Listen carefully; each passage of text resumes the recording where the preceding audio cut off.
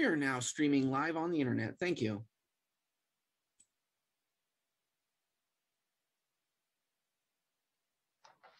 Do you mind doing another mic check again, please? You sound great. Whatever you did worked. Okay, awesome. Thank you. Sure.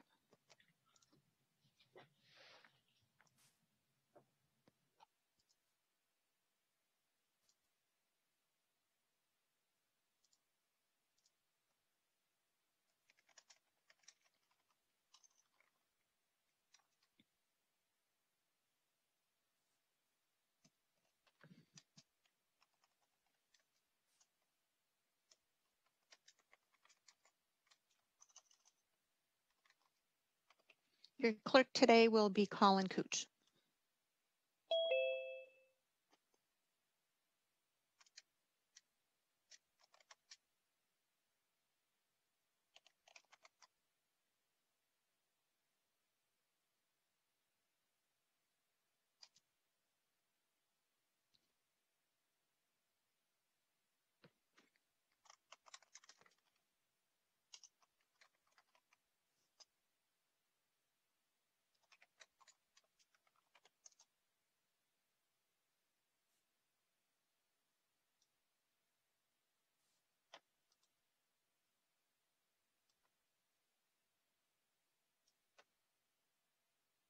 Good afternoon, Assessor Stone. Would you like to do a mic check? Good afternoon, Supervisor Chavez. Oh, sorry. Hello.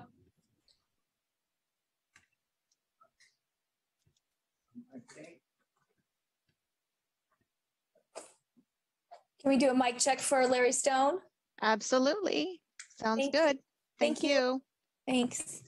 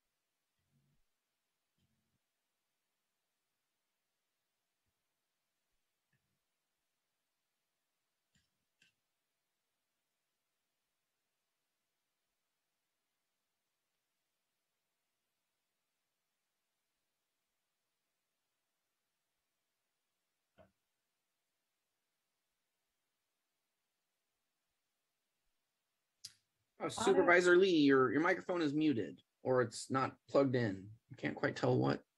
Can you Who's hear me now? Oh, there we go. Okay, great. I heard someone. No, I don't think, I think that was Steve Mitra. Yes, it Otto, was. we, we can't hear you. Yes. Chairperson Lee, your mic is not picking up any sound. You may not be able to hear us either. Should I, I'll just text him.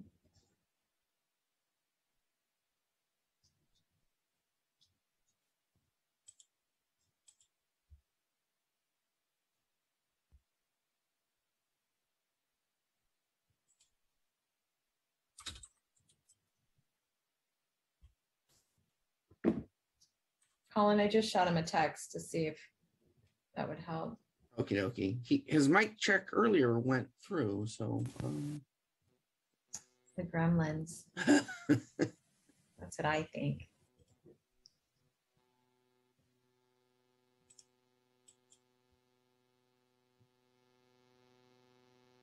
Now, uh, Chairperson Lee, I hear buzzing, but I don't hear your voice.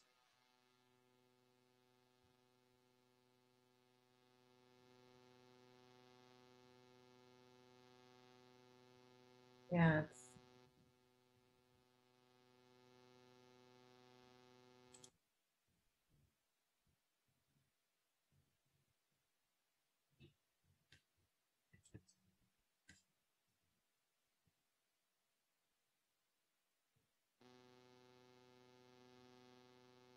So Otto, when you take your mic off, it buzzes, but we still can't hear you.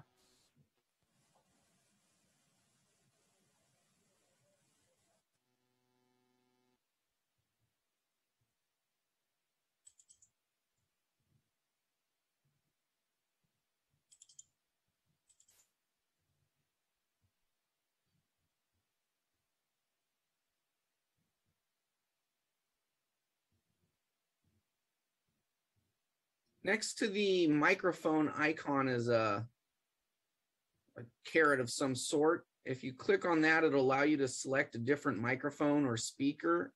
Perhaps you have a secondary option like the built-in one or a external USB.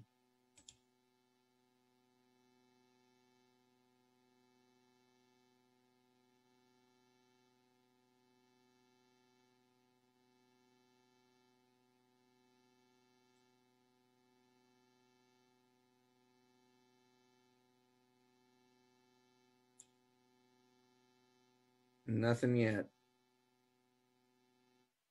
I tried to do it. so- Oh, Oh, we can hear you now. Oh, really? Okay, some, whatever it is, it was great. Okay, we'll, we'll keep it going. as- as Recording is in until progress. Something goes wrong. All right, thank you very much for your patience, everybody. Uh, now they hear me. Good afternoon.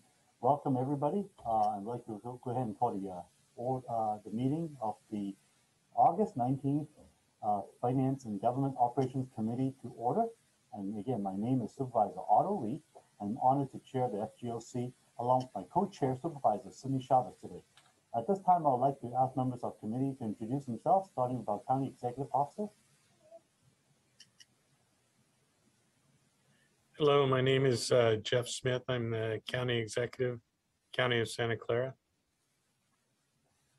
Hi, good afternoon. Miguel Marquez, Chief Operating Officer.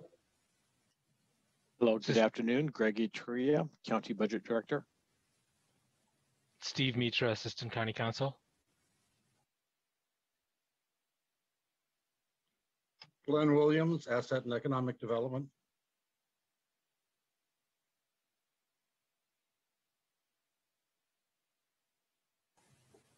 Okay, thank you. And with both supervisors present, could the clerk please do a roll call to establish that we have a quorum? Vice Chairperson Chavez here. and Chairperson Lee. Present. We have a quorum. Thank you. And this takes us to the first item of our agenda. Our first item of agenda, of course, is uh, public comments, which is reserved for persons wanting to address a committee on any matter that's not on this agenda. Members of public who wish to address the committee on any item not listed on the agenda should request to speak at this time. Individuals will be called to speak in turn. Speakers are limited to the following. Three minutes uh, if there are five or fewer persons, in two minutes if there are six to 14 people, and then over fifteen, we'll just adjust to one minute. The law does not permit committee action or extended discussions on any items not on the agenda, except under special circumstances. If the committee action is requested, the committee may place the matter on the future agenda. Statements that require response may be referred to staff for reply in writing. Clerk, would you please let me know how many speakers we have for public comment, please? We currently have one request to speak. Great, and then let's go set for three minutes. Three minutes. All right. The next speaker is Scott Largent. I'm unmuting you. Please accept the unmute. You'll have three minutes to speak. And the timer will start when you begin speaking. Thank you, everyone. Good afternoon, Scott Largent. I'm sitting at my uh, computer right now, just going through old documents i- involving predatory tow companies in the uh, city of, well, I'm sorry, in Santa Clara County.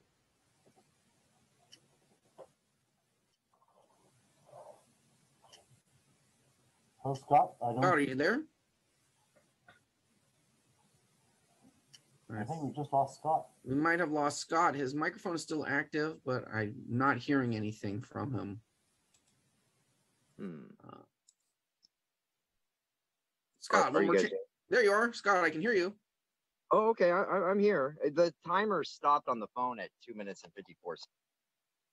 I, th- oh, where'd he go?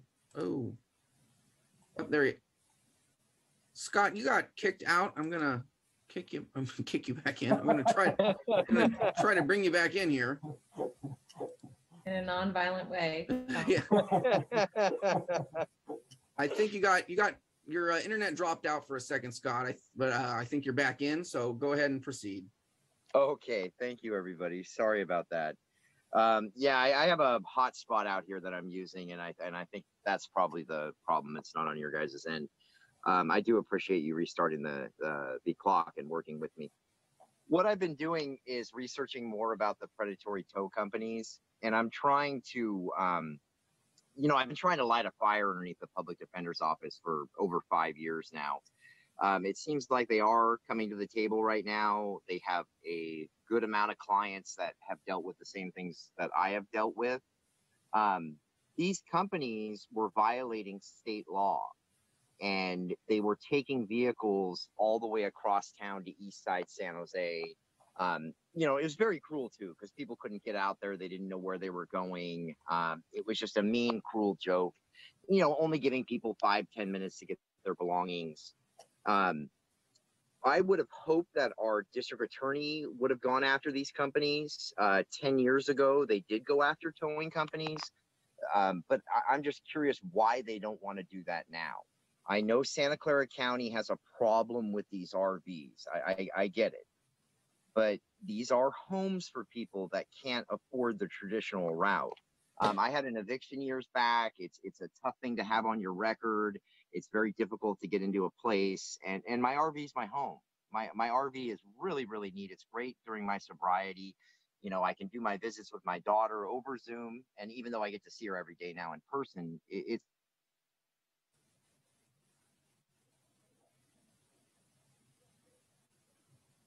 Uh, Scott, the uh, same thing has just happened.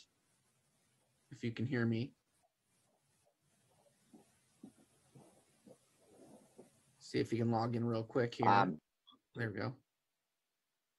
Oh. Scott, are you back? Yeah, I'm back. I- I- Okay. it's it, it's no worries, guys. If it's gonna be choppy, I don't want to disrupt the meeting too much. You guys know what I'm talking about with the towing thing, and and when you get a chance, read a little bit on San Jose Spotlight. They actually ran an article about the towing companies, and the next article that's going to come out is going to involve um, how the public defender's office kind of leaves people high and dry. So um, we don't need to worry about any more technical difficulties, and I'll let you get on with your meeting. Appreciate everything. Thank you.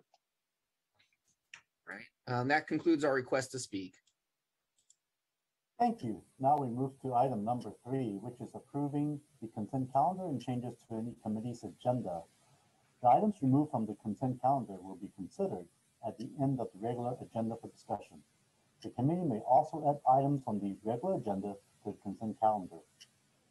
There is no separate discussions of the consent calendar items, and the recommended actions are voted on in one motion. If an item is approved on consent vote, the specific action recommended by staff is adopted. Members of the public who wish to address the committee on consent calendar items should comment under this item. Each speaker is limited to two minutes total. So Vice Chair uh, Chavez, I have the following changes to the agenda, and please let me know if you are amenable to them. One is adding items 7, 13, and 14 to consent. And to have items 6 and 9 to be heard concurrently.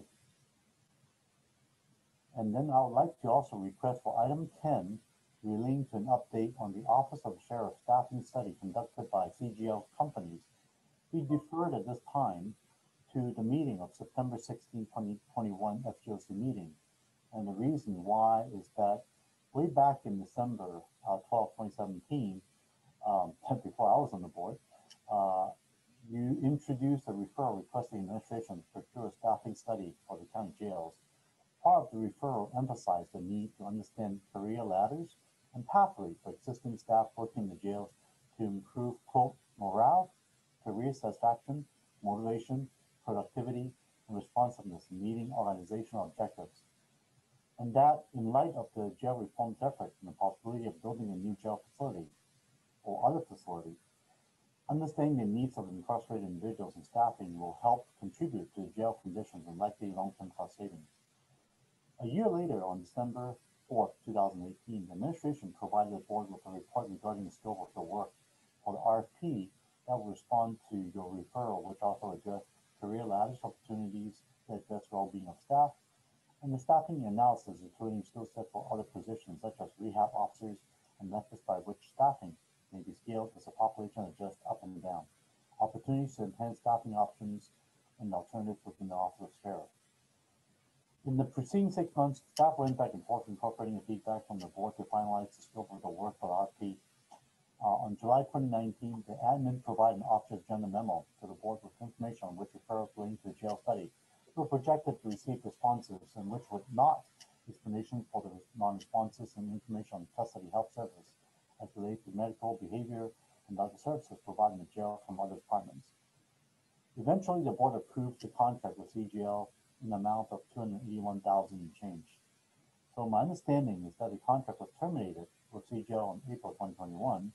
A draft report was provided to the county and that 225K of the taxpayer dollars was paid to the vendor.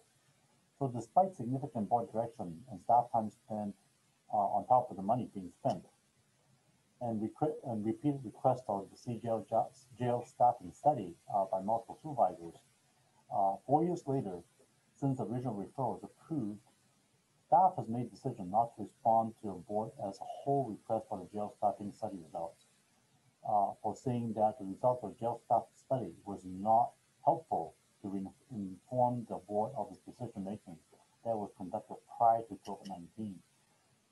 I certainly appreciate staff and the hard work, it is the board that preserves the right to determine whether or not to use any information uh, included in the CGL jail study, uh, jail staffing study to make any type of decisions. Um, so what I would like to do is to ask to defer this item to September 16, 2021 FGOC meeting and request once again for staff to provide the, the uh, CGL company jail staffing study and result if passed of the agenda item for review. Um, and lastly, um, I would like to defer item number 12 to the Office of the Sheriff's outreach and recruitment effort to September 16th FGOC as well to allow us to uh, more time to review and consider possible next steps. And so that leads the following items to be heard today, which is item number four, item number six, and item number nine, and then going back together of item eight, 11, 15, and 16. Is that clear as mud? So I'm, I'm sorry, I, I did miss that. So, um, we, yeah, I'm sorry, I, I didn't hear all of Sure. that. Let me, let me, let me start again. Um, so first is adding seven, 13, 14 to consent. We got that, right? And then having items six and nine to be heard concurrently. Mhm. And as far as deferment, we're also deferring ten, deferring twelve. Okay, Oh, and that's all? Yeah, that's Okay, so I'm gonna, I, I apologize. I, I'm having a difficult time hearing you, but I'm gonna do my best to, sure. to give feedback to that. Yes, please. So, um, item four, I'm just gonna start from the top, is a report from ESA, um, regarding executive recruitment. Uh, Supervisor Lee, I'd like to request a deferral, um, because I, I need to have a discussion with council about that item. You want, do you want a date certain or just uh, leave it open? I think that the September, um, sixteenth meeting would be fine. Okay, I'm agree with Thank that. you. Sure. And then item five is on consent. Uh, yes, we have Okay. asked to put uh, that on consent. I just want to make sure. Okay, consent. And then item six and nine would be heard together. Item seven, uh, just again, so I understand this, item seven, you would like to have on consent? Item Item seven, seven, okay, consent also, okay. And then item eight, you want on consent also? uh, no, we, we are going to hear eight and You want to nine. hear eight? Okay. Um, and then item ten, I, I just want to, um, say that I'm very supportive of the direction you put forward. And that at the next meeting, um, I, I think they attached it to the full board, but I would like to make sure that all referrals referencing the staffing study are presented in the board packet, um, at the next meeting. Thank you. Um, and then item eleven, you're leaving on the regular agenda? Yes, Okay. And then item twelve, um, you're gonna defer, correct. okay? And then items 13, 14, and fifteen will all be on consent? That's correct. Okay. On 13, i- 14, uh, we're gonna hear 15, I think. You want to hear fifteen? Mhm. Okay.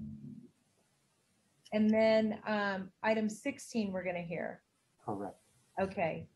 Then um, on item um, 18, this is a monthly report um, based on an audit that was done of the Los Altos Hills, um, you know, Fire Department. And there are two issues that I want to just raise from this.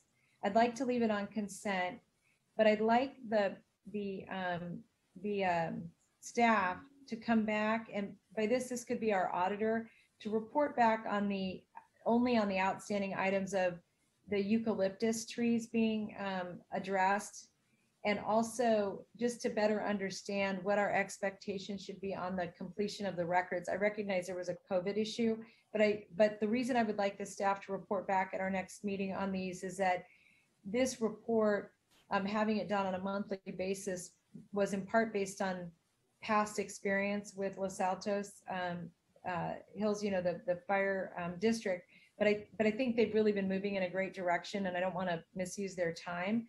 But I do want to make sure I understand the um, issues, the outstanding issues only. I think it's great to credit everything they're doing. That's great. But just to put those outstanding issues on a timeline. So if the auditor uh, could work with Los Altos Hills um, County Fire District, I think that would be really beneficial for our next meeting. Because what I'd like to be able to do is take it off of a monthly, re- monthly um, report out and make it um, annual. But I, but I do want those issues that are still outstanding um, put to a timeline. Is there any concern from staff on that request? No, Supervisor, that's fine. Okay, great. Thank you. Okay, That thank- I'd make a motion. all right, and I will second that. And if, um, let's, let's, uh, oh, actually, I do need to open public uh, hearing first, so let's open the public. Does anybody would like to speak on this issue, please? There are no requests to speak.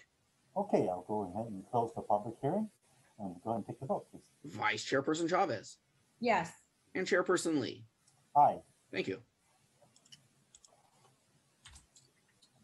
All right, so the first item after this uh, discussion will be item number six, am I correct? Okay, all right. And that, and as I said earlier, items six and nine are to be heard together. And this is to receive a report from the Management Audit Division relating to the fiscal year 21-22 recommended budget. And receive a report from the Office of the County Executive relating to a subset of recommendations from the Harvey Rose Associates review of the fiscal year 21-22 county exec recommended budget where there was not concurrence by administration, which was a referral from the June 14 uh, board meeting. Here to present these items on behalf of administration, I believe is Cheryl Solov and staff. Am I correct? Cheryl, are you here? Yes, I'm sorry, I need to. Can you see my screen? Yes, I believe so. Okay. Me. Um, so, um, this is, I'll just try to keep it brief, but I, I just wanted to, um, sort of articulate a little bit about kind of the background around how there can be disagreements, um, from the administration in our office pertaining to the budget amounts. And um, so as you can see here, this is the actual general fund budget versus actual for the object services and supplies, which is basically the county's contracts. So in the general fund for 2021, that is the year that just ended June 30. And as you can see, there's about 280 million that was appropriated by the board, but unexpended and unencumbered at the end of the year. So what we try to do in, in our projections for the, the upcoming budget, we're trying to look for what in this case is the 280 million to try to identify that and lay that out as an option for the board so that the board is aware of that there may be funds available that could be used to go back into services. And we try to avoid having any kind of recommendations associated with some with appropriations that would be used for actual services or encumbrances that would be used for actual services or goods or um, so it's the difference between our report and what the administration says is is the is where they're saying in this case you know the money is in the gray box and we're saying it's in the red box and so that's what the difference is in some budget circumstances if you took money out of the budget you could be cutting actual services but that's not what we're trying to do. And that's when we don't believe that our recommendations do that in any way. What we're trying to do is find an effort to ensure that allocated money maximize actual services by identifying un, you know, unspent monies or projecting monies that may be unspent to the end of the year. Um, and so this chart that I have here, um, sorry, I don't know why this stuff is in the way, but um, this is actually from the OBA response, and it just lays out what OBA's position was relative to our findings. And I'm happy to go through. I did prepare a separate memo um, to look at with three three additional months of expenditure data, um, that being June, July, and, um, or actually, um, yeah, June, July, and August um, monies. Uh, there's nothing that we identified in the sort of re-examination of this that would lead us to think that, you know, something is wrong with these estimates. And and to be frank, we're pretty we're pretty conservative about trying to identify funds that you know we really think are not going to be expended on what they've been laid out for appropriations. Um, so I don't know if you want to go one by one or if if there are particular questions.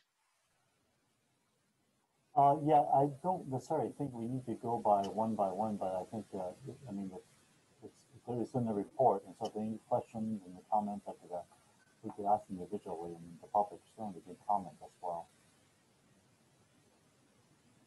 So, yeah, go ahead. Um, I'm sorry, so you were saying that you did want to go one by one? I mean, you can if you think it's necessary. I mean, I think it's all there. Uh, if you Yeah. like to highlight the ones individually, then might- it's probably better than just go through every single one. Yeah, so, you know, as, I said, uh, you know, I don't see any changes in any of the expenditures at, uh, as of the last, you know, as of June thirtieth or, you know, in the first month of this year. Um, that would make us think that something was wrong with our estimates. And so I think they're still solid estimates and, you know, it's, those funds, we believe, will be available at the end of the year. Um, if they aren't used for something else, they'll end up in fund balance and could be addressed then or at mid-year or later potentially.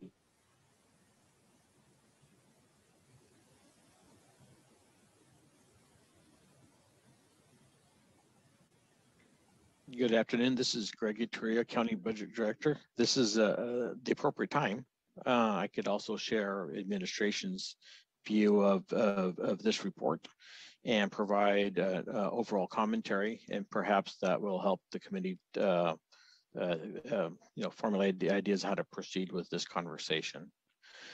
Um, you know, overall, the management auditor or the, or the HMR an- analysis, in our view, is uh, too focused on historic accounting reports and doesn't appear to even attempt to analyze expected costs for the current fiscal year.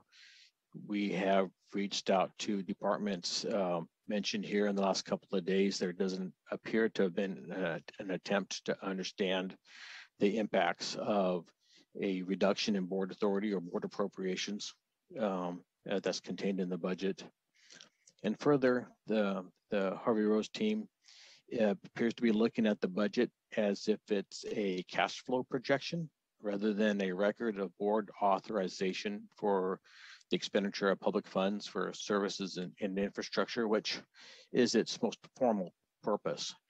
Uh, not prepared, you know, to go, you know, proposal by proposal to describe the significant considerations that were missed in the in, in this Harvey Rose review, uh, the impacts to services and critical infrastructure if the board was to reduce uh, spending authority, you know, on uh, to to these extent, so that way the committee is you know fully informed of what the anticipated impacts would be from reducing spending authority, um, you know, uh, in these budgets and for these services. Let One me, of add, let me add a couple Yeah. of things. Um, I think the issue really is the difference between allocations and planning versus historical spending. And there are three uh, major areas that I'd like to point out where there's difference. If you look at number eight, which is behavioral health services contracts.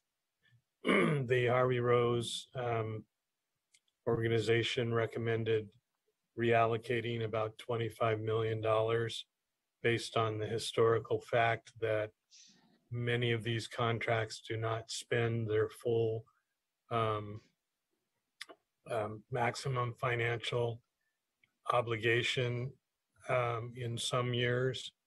Um, we believe that there needs to be flexibility for the CBOs and the clinics to be able to um, see patients and provide services. Some years they don't um, spend their entire uh, budget. Some years they do. Um, by reallocating it at in July, the board would effectively uh, foreclose the possibility of uh, services expanding beyond the projected number, which means that people would need to be turned away.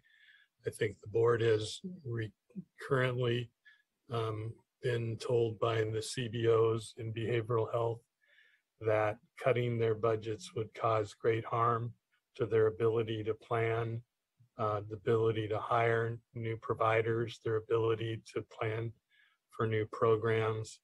Um, and so um, actually reducing their allocation by 25 million would decrease the services ability for them to function. The other um, major portion of the savings that uh, um, Harvey Rose is talking about is in number five. These are allocations for capital projects like the VASC, the um, other capital projects that the board has put high priority upon. Um, if those funds are reallocated to another project or another operational expenditure, that would stall projects considerably because they would be defunded. Um, so that uh, does not recognize the fact that project planning is uh, a dynamic situation. There's oftentimes um, subsequent work allowances and subsequent projects. And for example, the um, psychiatric, new psychiatric facility initially was projected to cost about $300 million. Now it's projected to cost 400 million if we had defunded um, the program to actually what was actually spent last year, uh, we would have paralyzed the program. And that's true of many of the other capital expenditures. And then the next large number is the um, funding for vacant positions. Um, I think the board understands that many positions are created because of critical needs during the time period that recruitment is being done. Um, there needs to be an allocation in order to be able to hire somebody into those positions. Without that allocation, um, there would be no ability to actually hire into those positions. We routinely, every year in OPA, look through all of the positions that have been vacant for more than two years, and we report to the board about um, which vacancies we think should be eliminated. But there are a number of vacancies that need to be kept alloc- kept funded as we go through the hiring process. So this money is necessary for the function of the organization um, and should not be reallocated to other operations. Greg, did you have more to say? Yeah, not unless we want to get into, you know, specific line items. Um, uh, you know, uh, maybe one other point would be, and it's, it's not factored in the, the earlier math that uh, uh, Harvey Rose showed, is there are a number of projects the board funds on a one-time basis that take multiple years to complete. And only, they're maybe only uh, partially completed last year, and we have what's called the, the rollover process, where we'll be coming to the board in September, asking the board to, to reappropriate. So some of the uh, amounts that are the difference between last year's actual uh, spend and the budgeted amounts that were shown as available aren't truly available unless the board changes its mind about a lot of these very critical one-time expenditures and programs, which I've got listed. if, if on a line by line um, uh, basis, if the board wants to hear which ones would be cut, if, if the board wanted to cut, but I'm, it, it would just be an exercise because uh, we have high confidence based on recurrent um, messages from the board that everything I would be mentioning is is a high priority at the board. But I've got those notes if the board wants to, the committee wants to go line item by line item. That's all I have at this point.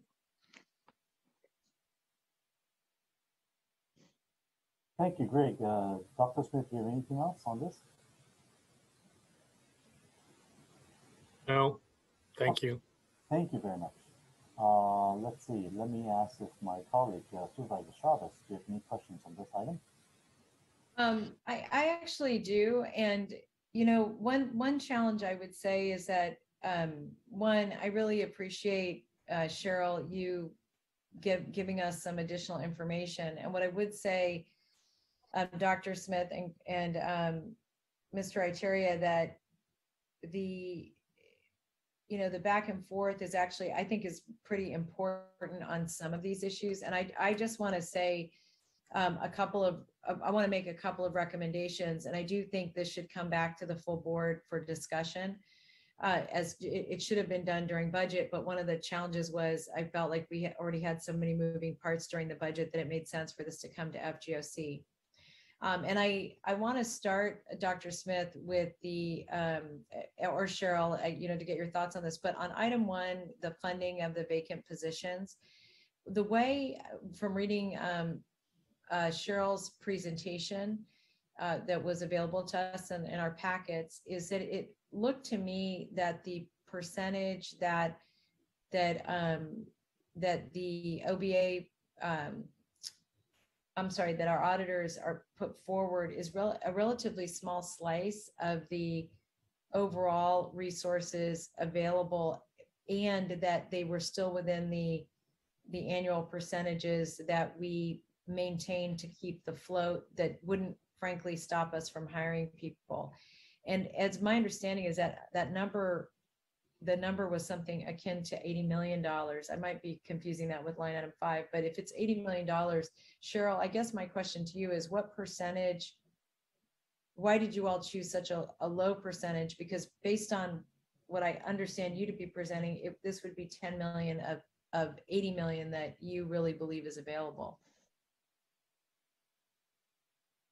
Um, thank you Supervisor. Yes, we, we- again, we try to be very conservative to make sure that we're not, I'll go back to this. Um. So, you know, something, we're- what we're trying to do is make sure that we're never in, if you're looking at your screen, we're never touching these kinds of um, the stuff that's in the gray where there are actual services. And we're just looking at, you know, um, barring some sort of actual catastrophe, um, funds that would be truly available. We never want to touch um, service monies that would be tied to, to services. Um, and so that's why it, yes, it's conservative. What's the, I guess Cheryl, just so I'm not guessing, why 10 million of the, I understand being conservative, but is there a, a framework you- you're using that we have enough money based on the, the policies that we have in place to have, um, to have enough resource so that we're able to, um, continue the work? You know, that, that, I think it was a 2.6, uh, percentage points of, um, resources available. If there's 80 million available, why 10 million? Is there a- an accounting mechanism you're using or is this, what is it? So, so part of the reason that this was presented so conservatively is because the administration did reduce um, quite a few vacant positions, the funding for quite a few vacant positions. And because at the end of the year, the actual savings at, as of June 30th um, was about $20 million in, you know, on the general fund side, which is pretty close under a, you know, so we're, we're just trying to be cautious.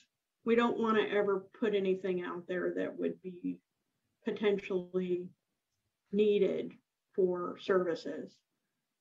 Um, and so this is half of what it actually was at the end of, as of June 30th, at the end of that year. So you chose half. I don't mean to use this term, but you, you just sort of chose half because there, there, it wasn't a, a rule necessarily. This was a judgment that you made based on what you thought was conservative. Yes. Okay, thank you. And then um, my next question um, really goes, I'm going to go to the behavioral health um, services contract.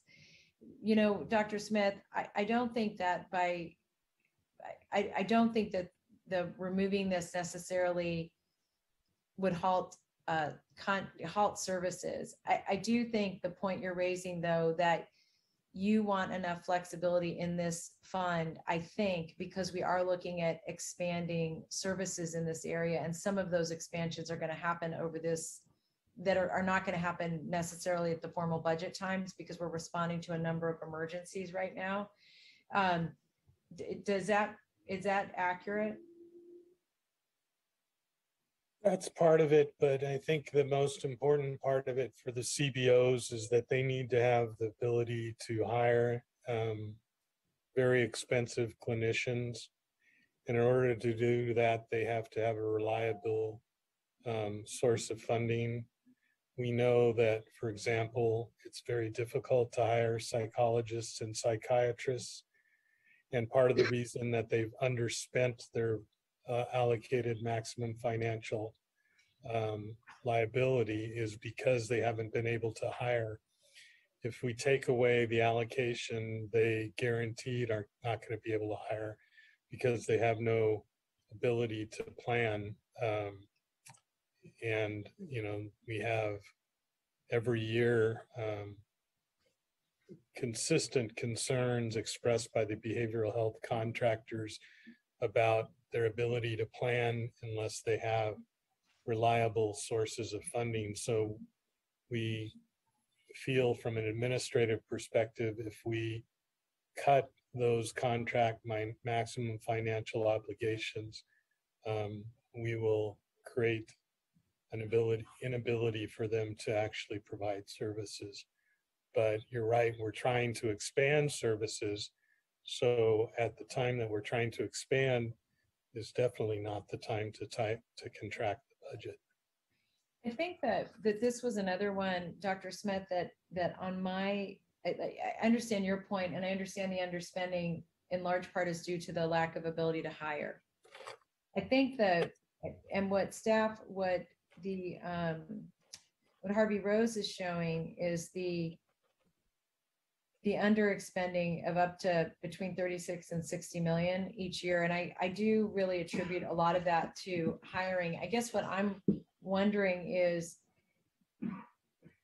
um, when we're looking at this number, is this number, uh, and maybe this is something that you all will have to get back to us on, but is this number in, in, ser- I'm sorry, this number is a part of the services that we've contracted. So really long, the recommendation from uh, Harvey Rose is to, um, is to make these contracts smaller because we have an, an over, Right, that's over correct. contracting. I mean, let me, I'm asking, Dr. Smith, I just want to ask Cheryl if, if that's the way she understands her recommendation to us. Um, well, and I, in the follow-up memo, I tried to be clear about this. There, it's, it's not hundred percent clear that these are funds allocated to individual contractors who are out there doing, you know, some kind of, in other words, the excess because there's no there's no list of okay here's every here's all the contractors and here's their maximum financial obligation under the contract for this particular year. Um, and in going through the encumbered amounts there appeared to be funds that were encumbered for projects that may have already been completed or um, you know so it, it just it's not entirely clear that these are all allocated to current available contractors and so i guess my thought on this was more to redirect these funds from you know just um, something that might have been planned in 2017 or 2016 to current services. Um, You know, on this one, let me just say, I, I would have a different recommendation and let, let me say what it is based just on this discussion. I do think that um, procurement should make available to you for review the contracts um, in behavioral health to better understand what are embedded in contracts, you know, versus what isn't just being utilized by the department. And that would make me more comfortable because I think the fact that that that isn't clear means that it, that's a very high risk um, enterprise for us to remove funds without knowing that. But what I'd like to, um, through the direction that we make, is ask uh, procurement to make that information available to you so that you can take a look at that before we would take any action in this area. Supervisor, those contracts are managed through the department and the list does exist and the maximum financial obligations do exist. So we'll get the list to um, Harvey Rose and. That to would the be great. The reason I was asking about procurement is I know that we've been looking for that one giant list in the sky that we're supposed to have one place we can access all contracts throughout the county. And I, if what you're telling me is we're not there yet, and then it'll go to behavioral health, I'm fine with that. Thank you. Um, I want to go to item nine now, and this is the advertising and professional fees. I, I think Dr. Smith here is what I would really like to just um, request is that um, that this actually be invested over the next year and that we see a plan that comes back through health and hospital on the investment strategy of that resource. Right, I think uh, we can certainly give you a plan.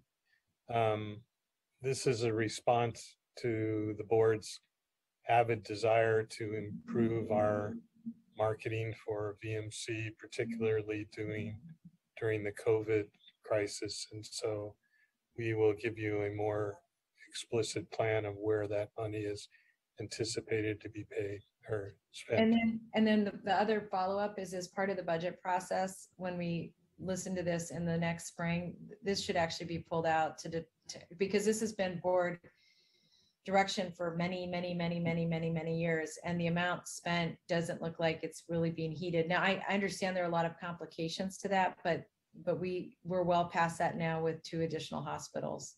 That's a really small amount to spend, given the size of the enterprise. Um, so am I understanding that in July, you'd like to see the number bigger? No, I guess what I'm saying is I just want to make sure it got invested. You know, Oh, I don't okay. want it buried in the budget. I want them to be able to come and say, nope, we did it. Here's what our plan looked like. It was great. And, you know, Yeah, and that, that's all. I just I think. get it. yeah. I get it. I get Thank it. you. Um, and then to go back, um, I want to go to item five, and this is the general fund transfers for the capital out, outlay. On this item, you know, there's actually a very good list on packet page thirty-eight of the, the, um, areas that are being focused on by the auditors. And it includes the medical respite center, uh, warehouse improvements, jail project improvements, and the TB refugee clinic. This is not wholesale, it, uh, it doesn't appear to me to be a, um, you know, an, an attack on the VASC or any of the other projects that are being, um, discussed. But here's what I want to recommend on this one. I, I do think that a better, a stronger understanding, um, of where these projects are in process and, um, what the, uh, appropriate allocation should be is, is really worthy of frankly, um, I'll say this to you, Otto, is really worthy of a deeper discussion by this committee. And I think one challenge here is that um, when I was reading, uh, you know, Cheryl, um, your team did a really nice job of just laying out the perspective on why we were where we were and how we draw down resources. It does appear to me that the the overall um, capital investment strategy countywide is something that's it's really always in flux and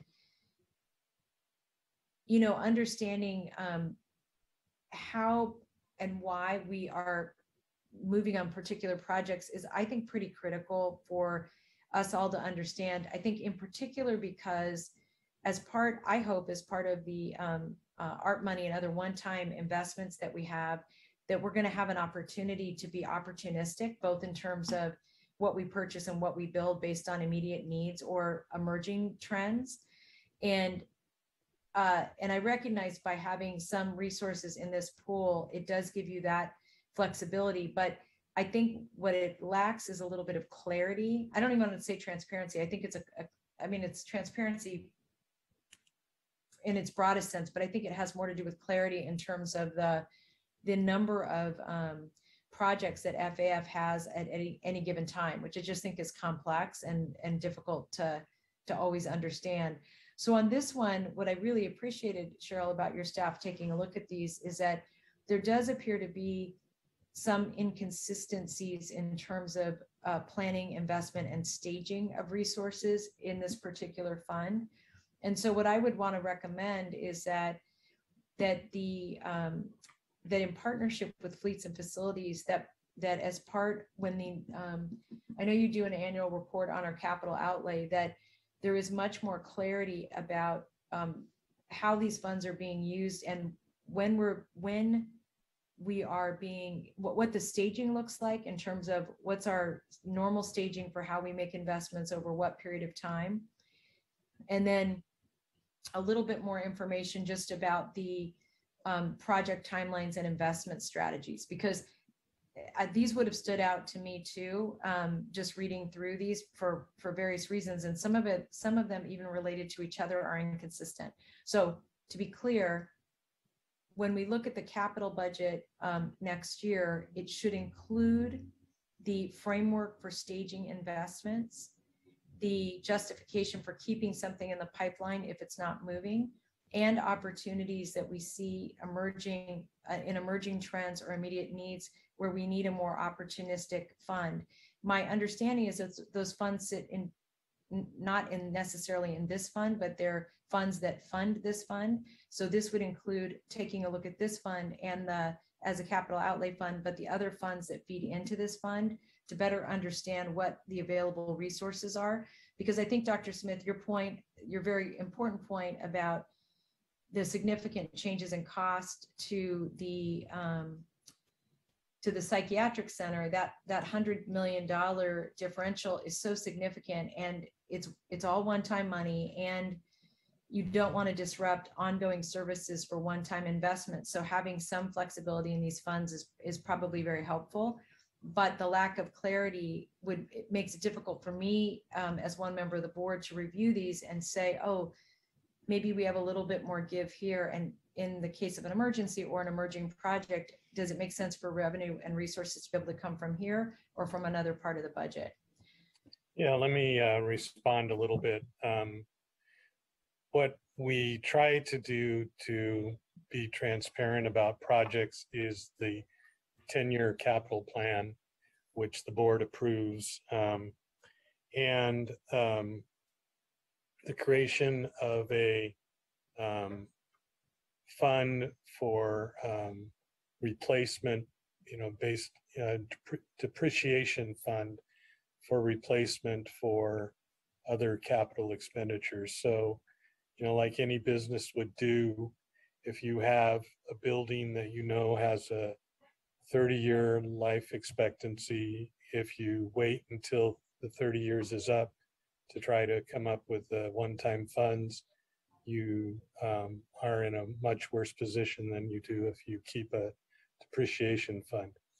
But I hear what you're saying is that um, you would like the 10 year um, project plan, um, capital project plan to be more explicit about the timing. And we can do that by doing a modified Gantt chart for at least the big projects so that you would see what's planned operationally at what time and um, what investment it would take at particular times within a realm of, you know, not absolute certainty because obviously things are plus or minus. Uh, changes occur, you know, as you know, we had changes in the VASC layout at the last minute, which cause extra money to be spent. So we do need to realize that if we do a Gantt chart with the 10 year capital improvement plan, that there is some flexibility that is required. So we'll make it more clear next year about exactly what um, is anticipated in the projects. Yeah, and I just will say too, that I know there's, I want to be mindful that we don't give the impression to anybody who's building for us that there's, there's a slush fund for them to, you know, come after, um, which I do think is also a challenge for the public sector, right? In terms of how we, how we budget. But I do really appreciate, uh, Dr. Smith, the point you're raising about the, the, um, need for that fund to have you know, to have enough certainty and flexibility and be able to manage both parts. And I think that the other thing I would just say is as part of the 10-year capital plan, I think it should just reflect um, all the, all of the inputs, not just the, the major fund. And I really appreciate your point about the depreciation fund. I, I think you're right that part of having a healthy, clean, you know, safe um, work, you know, uh, environment for our employees is really being assertive about how we're reinvesting. So all of that is very appreciated. And yeah, I love the idea of a modi- modified Gantt chart. I think that would make it easier for us to see where things are. And frankly, how we, how we frame up the investment strategies is going to be really helpful. Thank you.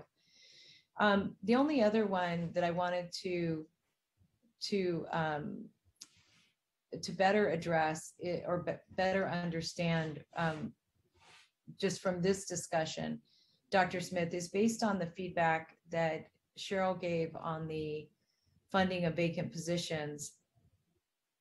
I wonder if, and, and also I appreciate that you found 5 million that, that could be um, put into the savings pot, but I'm wondering if you could give a little more feedback to why you're, di- you're discomforted by the, the 10 million.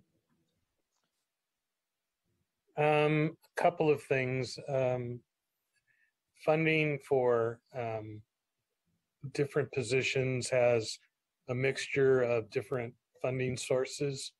And so what this represents is $10 million of allocated funds from the board uh, from various funding sources. It doesn't all come from the general fund.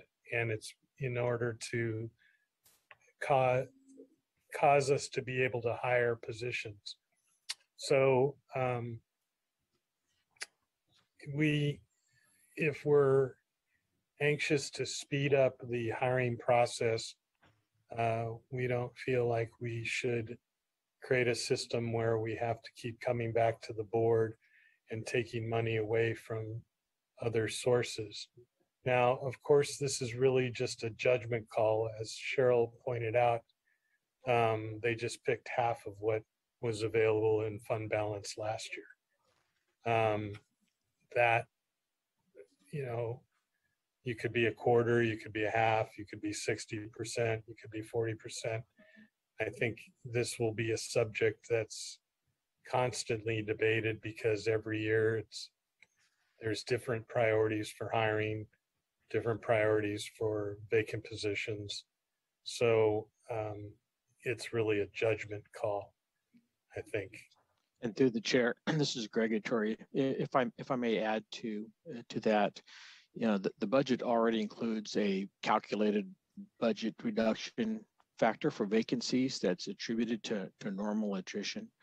But you know, any additional savings from extraordinary vacancy levels is uh, needed to pay overtime and extra help costs to staff public service posts during the recruitment period to fill regular posts.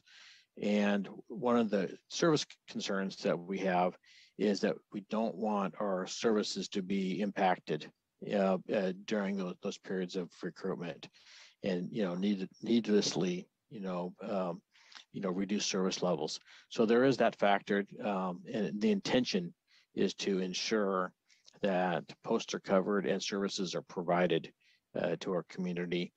And and also just to add that even I know it's only one month, but taking a look at the July spend so far, we've spent 158.9 million just in, in, in the general fund uh, for salaries and benefits. And, you know, we're on trend to spend, we believe, the amount that's been appropriated appropriated for salaries and benefits.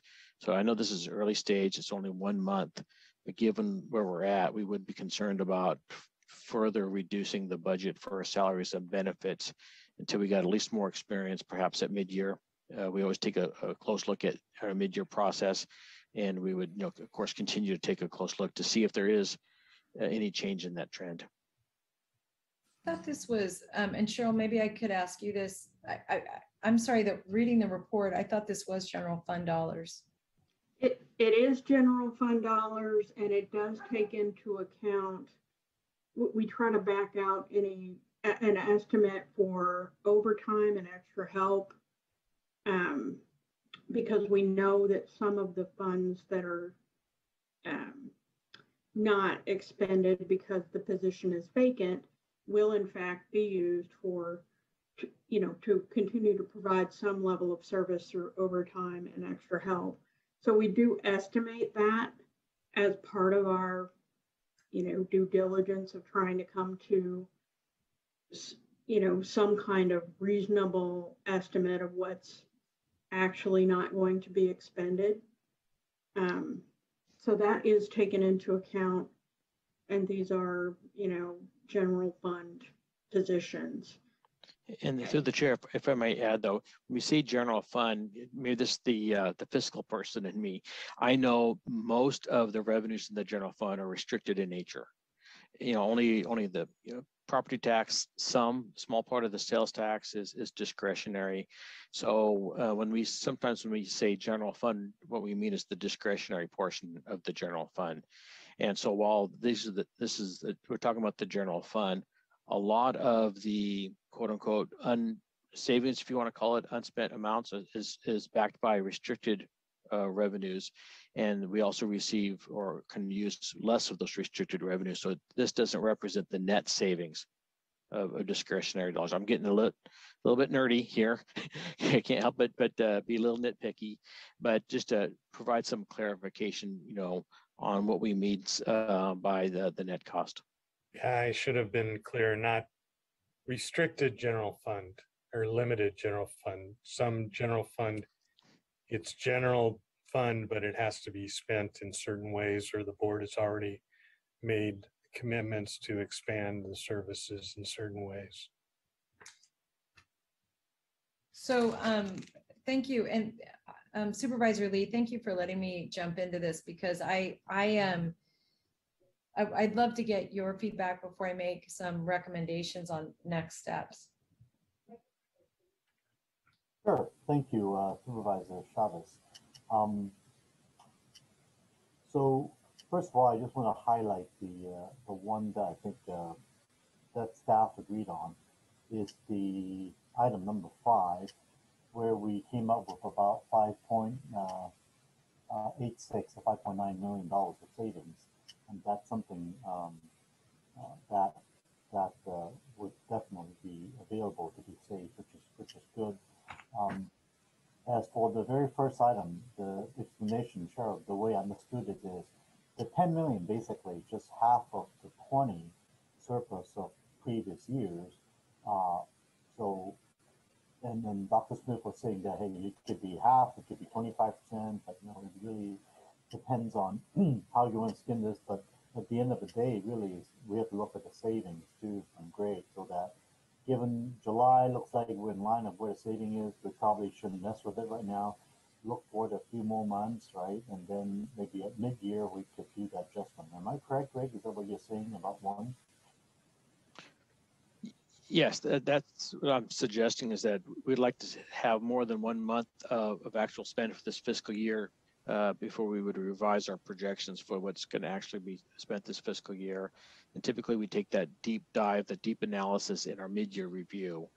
And at that point, we've got six months of actual data to, to study, as well as the actual revenue offsets that a lot of these salaries and benefits have a, a revenue offset. And we want to be able to consider that as well. Right. And in terms of just the general budgeting concept, right, we are very different. For example, say the federal government. One thing I know the federal government does is if you don't spend money by the end of fiscal year, which would be September 30th, any type of surplus is looked at very negatively so that year, next year, uh, that might be shafted. And I certainly don't believe that's the way to, to, to practice budgeting. So in the case that we show that there's been surplus in general from last year, to me, it's not that thing because that's the money that'll go back to the general fund or wherever the restricted fund amount is. So um, I, I'm just so in general, as a concept, uh, my way of understanding budget is that given the way that we are not gonna, I, I don't want to punish uh, funds not being spent because of the fact that we certainly want to save.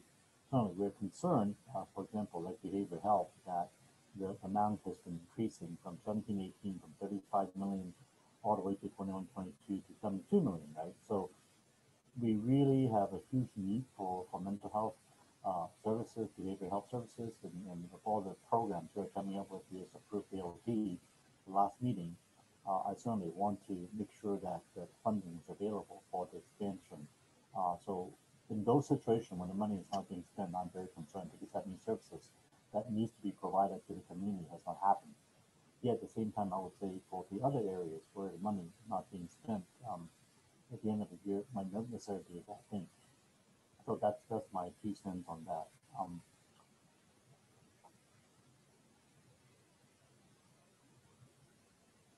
is there anything else, uh, Greg, you want to discuss about what I just talked about regarding these numbers? No, I don't, I don't think so, but maybe just to echo your point that all the revenues get expended and used on public services. And, and even if in any of these cases, uh, because projects get delayed, um, don't get started late, that doesn't mean the, the money doesn't get put to use. If something doesn't get uh, completed this fiscal year, then we, we obviously as staff complete your direction the following fiscal year. And we track all of this. And, and we'll come back in even in September and recognize the, much of what these numbers are based off of is, is last year's gap between budget and expense. We're going to ask the board to reappropriate those same things to get that good work done. And so I, and maybe that's just another way to echo uh, your, your point from using my terminology. Right, that, that if they were somehow over budgeted, right, and that surplus, because the money doesn't go away, right? The money's still there. It's just that you appropriate the year instead. Correct. That's, uh, that's what I'm. So uh, leaving it there, it gives you the flexibility to, to come, to execute this year if, if it turns out we could do it this year. I get that. Okay, all right. Um, Dr. Smith, uh, am I capturing what you're saying or is there, or then mis- misinterpret what, what you were saying flexibility? Yes, I think you captured it. I think the important issue to remember is that budgeting in the governmental situation based on state regulations and general accounting principles is a projection.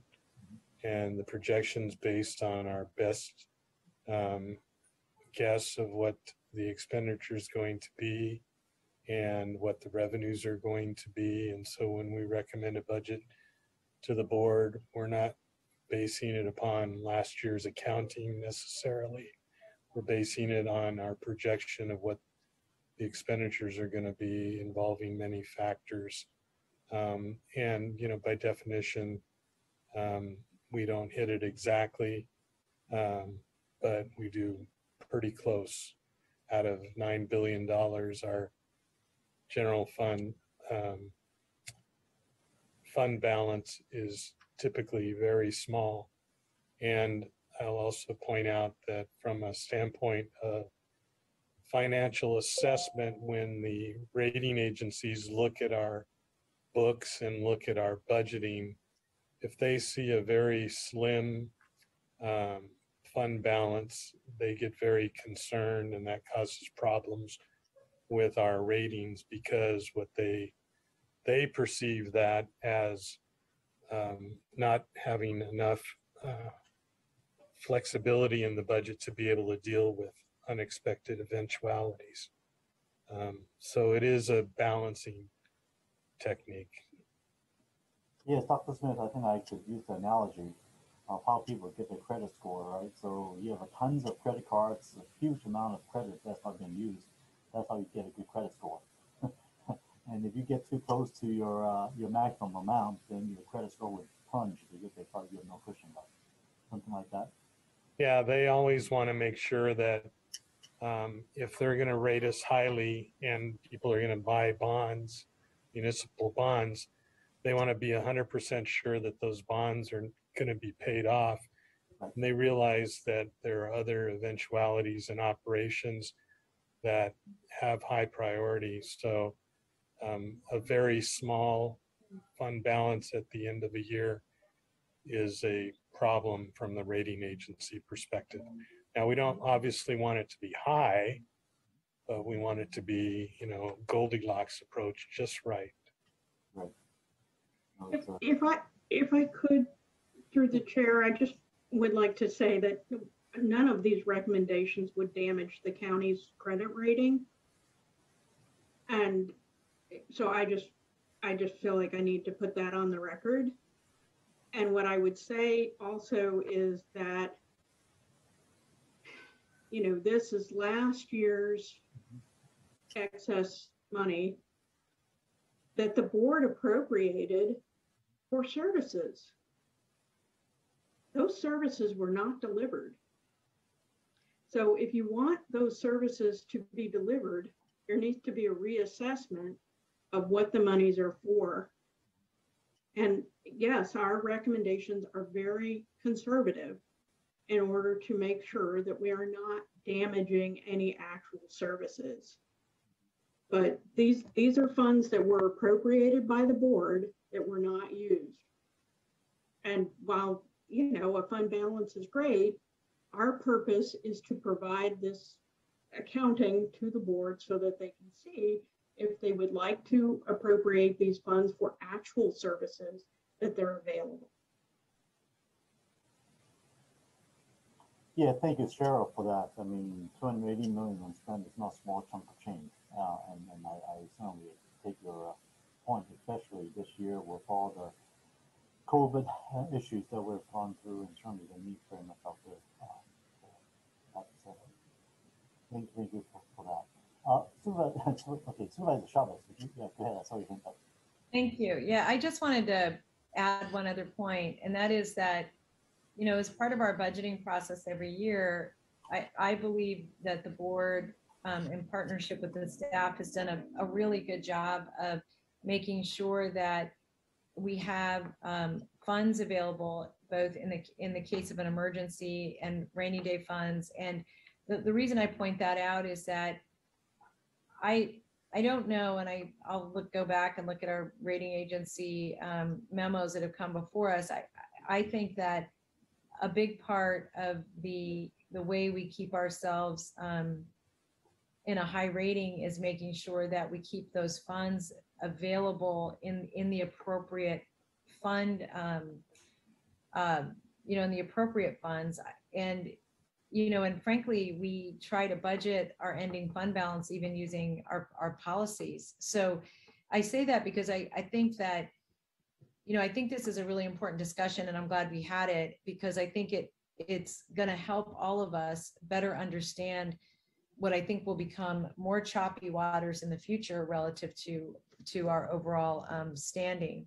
So, you know, anyway, I, I wanted to also say that, and and um, Supervisor Lee, if you're done with your comments, I am prepared to make a motion if you're ready for that.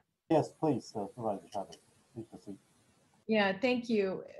What I wanted to move is um, that item one be, yeah, come back for a reassessment in mid-year and that that reassessment be done um, between the Office of Budget Analysis and our management, um, our auditing team, because I, I think having two agenda items reflects that we didn't, that our staffs didn't talk. And I, I think that the, that, that, that, pardon me, that that's very important that that come back as one item, even if it's not in total agreement.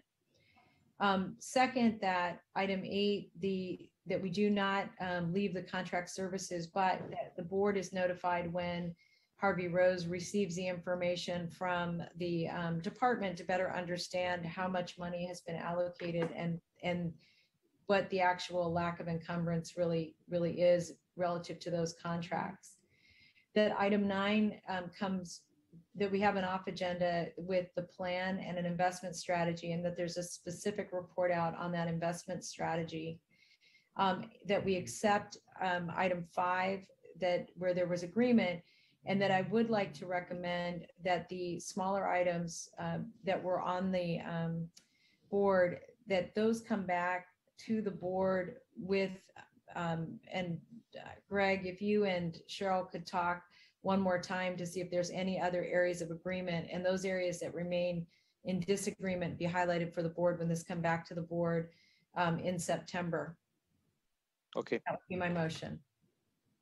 I'll second it. Was that clear enough for Cheryl, for you and Greg and Dr. Smith?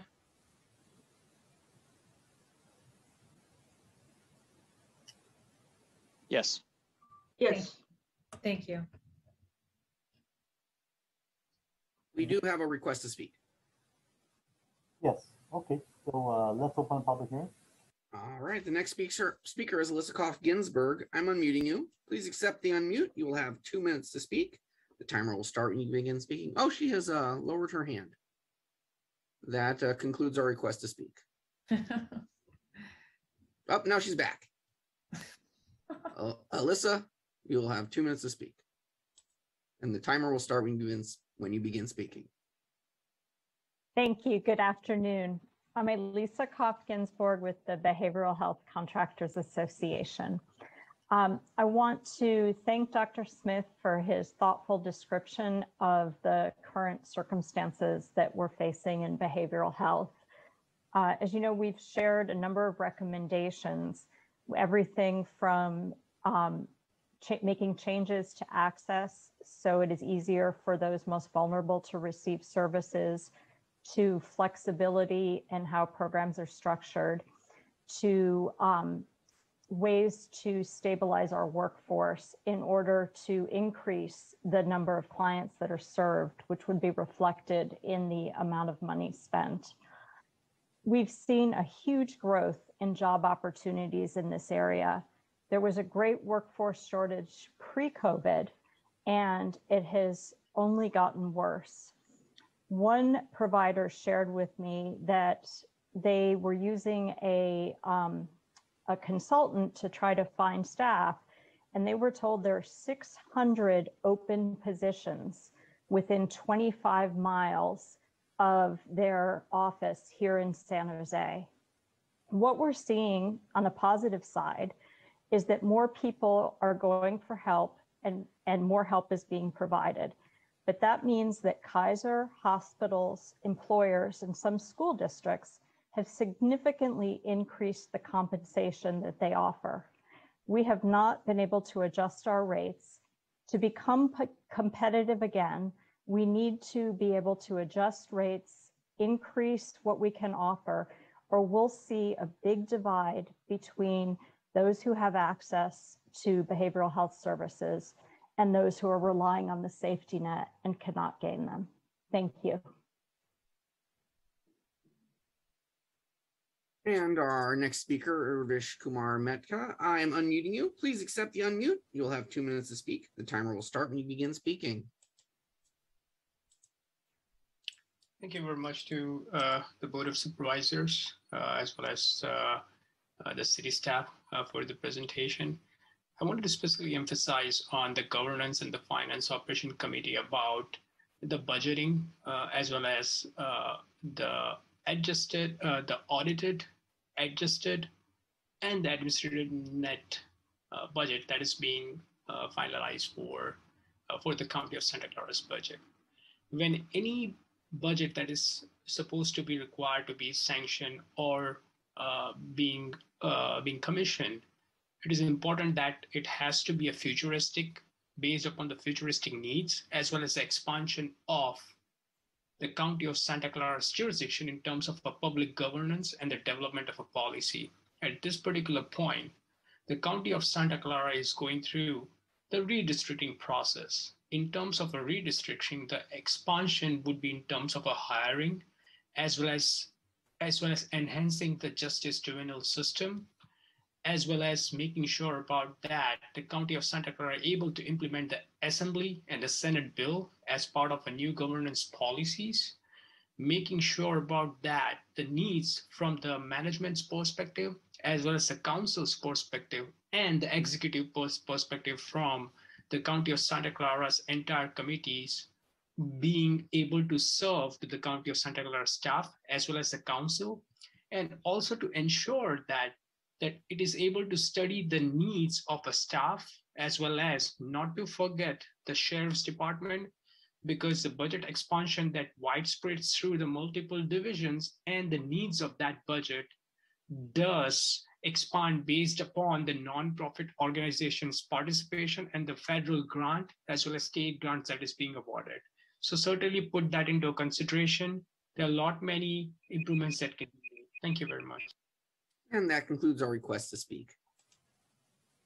Thank you. Um, if there's no more speaker, I'll go and take the vote. Vice Chairperson Chavez Yes. and Chairperson Lee. Chairperson Lee? Yes, Oh, okay, so. Thank you. Thank you. So the motion carries uh, unanimously, and uh, this will be brought back to the board. Okay, um, let's see, next item, I think we are skipping to, give me a second. Number eight, am I correct? So Yes. I have Item number eight, which is uh, to receive the fiscal year 2021-2022 audit work plan for the Office of the County Exec Internal Audit Division. Here to present this item on behalf of the administration is Robin Rose and staff. Robin, are you here? Yes, I'm here. Good afternoon. Hi, good afternoon supervisors. How are you? Good, good. Thank you for being here. Please proceed. Yes, um, can you see my screen okay? Yes, very colorful. Oh, thank you. And I have three screens, so I'm not sure if you see the one that's my side or if it's the one where the full screen. I see two two screens actually. I see the uh, colorful slide. Yep, there we go. So that's all. No problem. No, because I'm trying to move it, see how I can move it over to this other side. So my apologies, just bear with me Yes. It also shows the next slide is what it's doing. Okay, well, I guess it'll still work. Okay. So go ahead and do So currently, we see a main slide and we see, yeah, your main slide and we see the next slide on the right. Uh-huh. Uh, No problem. So I'm here to present the Internal Audit Division's fiscal year 21-22 budget, which I'm happy to present. Um, Just to give a little background, um, Internal Audit was previously under the Controller Treasurer's Department, and we recently moved. oops, hold on. Uh, We moved to the County Executive's Office effective July 1st, um, 2021. Oh, thank you. Uh, Perfect. Thank you, Dr. Smith. Me it. And so we, um, we have, from the results of an external quality review by the Institute of Internal Auditors, they recommended that we expand our, um, our risk assessment process as well as recommended us to move to a higher level authority within the county. So that's what warranted the move to ensure that we remain independent and objective among other county departments when evaluating um, the efficiency effectiveness of county operations because you know our mission is to add value by helping the management achieve their goals and objectives and to ensure that internal controls are operating as designed and plus increases our visibility among county departments so that way we have greater exposure and will be the first line of defense whenever they have any issues related to risk affecting their county uh, departments and operations. And um, we're required to do a comprehensive risk assessment, which we have presented to you today. So that way we can address the most vulnerable and significant risks facing the county. And so our methodology, um, Harvey Rose, um, Cheryl was very gracious to provide their, their risk assessment process. And it kind of coincide with us wanting to do more comprehensive at the departmental and program functional level. So we used, uh, we analyzed SAP and used the same 1,530 cost centers to develop our risk assessment, as well as review the recommended budget book for the current fiscal year, gathered other financial data and SAP, sent a questionnaire to all county departments asking department management to provide information on, at their department and functional levels to see what, what risks are facing their county, especially during COVID times when, you know, the county was faced with severe budget cuts, um, challenges to meet service service demands, and also work remotely. Um, we looked at results of prior audits done either by external auditors um, through Harvey Rose, an outside agency, a grantor, and applied um, different factors um, at a high, medium, or low risk. And based on that, uh, we developed what determined what our audit plan given our limited resources. And just at a high level, um, the results, we had 347 high-risk cost centers among the 32 county agencies, and we selected audits among 19 of the 13 departments and agencies. And on the left, these are the factors that we considered from looking at any compliance requirements, concerns from finance agency as well as county executive management. So we can look at the fiscal as well as the high level management operations, um, any departmental requests from the results of the survey, the time since last audits internally or externally, um, the changes in turnover and management, which has happened uh, over the last several years, especially recently with the um, the VSIP program and a lot of uh, management wanting to retire, and as well any susceptibility to fraud, such as um, cash or you know and gift cards, things of that nature. Uh, new or eliminating programs or functions such as you know the housing program and assistance provided during the pandemic.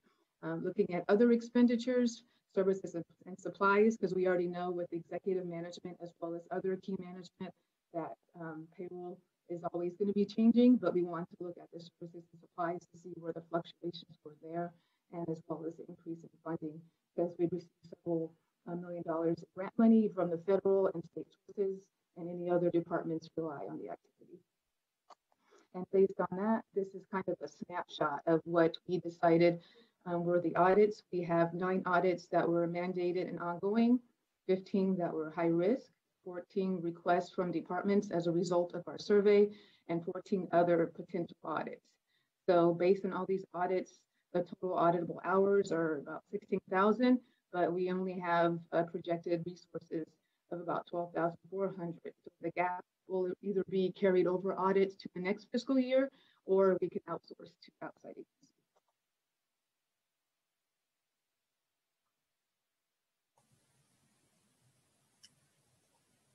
Any questions? Okay, Robin. Thank you very much, uh, Robin, and uh, uh, for the presentation. So first of all, I want to thank you and your team's diligence on this uh, odd work plan. I am mindful of the fact that COVID-19 has certainly disrupted our county's operations in the most unprecedented ways, making people work in so many different areas to all help out the COVID effort. And I understand that you've identified a total of 347 high-risk uh, cost centers. And the current work plan only includes 19 of the 32 high-risk departments due to the staffing limitations. Um, and certainly it's important to that we prioritize covering these all these 32 departments. Um, I'm I'm just want to know, uh, has this happened before in the past?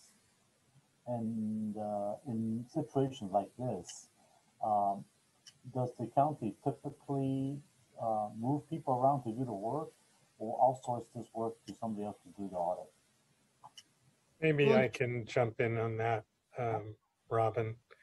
Um, maybe a little context for the public, uh, just to make sure that everybody is on the same page. Um, Robin and, and her group, um, are internal audit and, uh, Harvey Rose is external audit.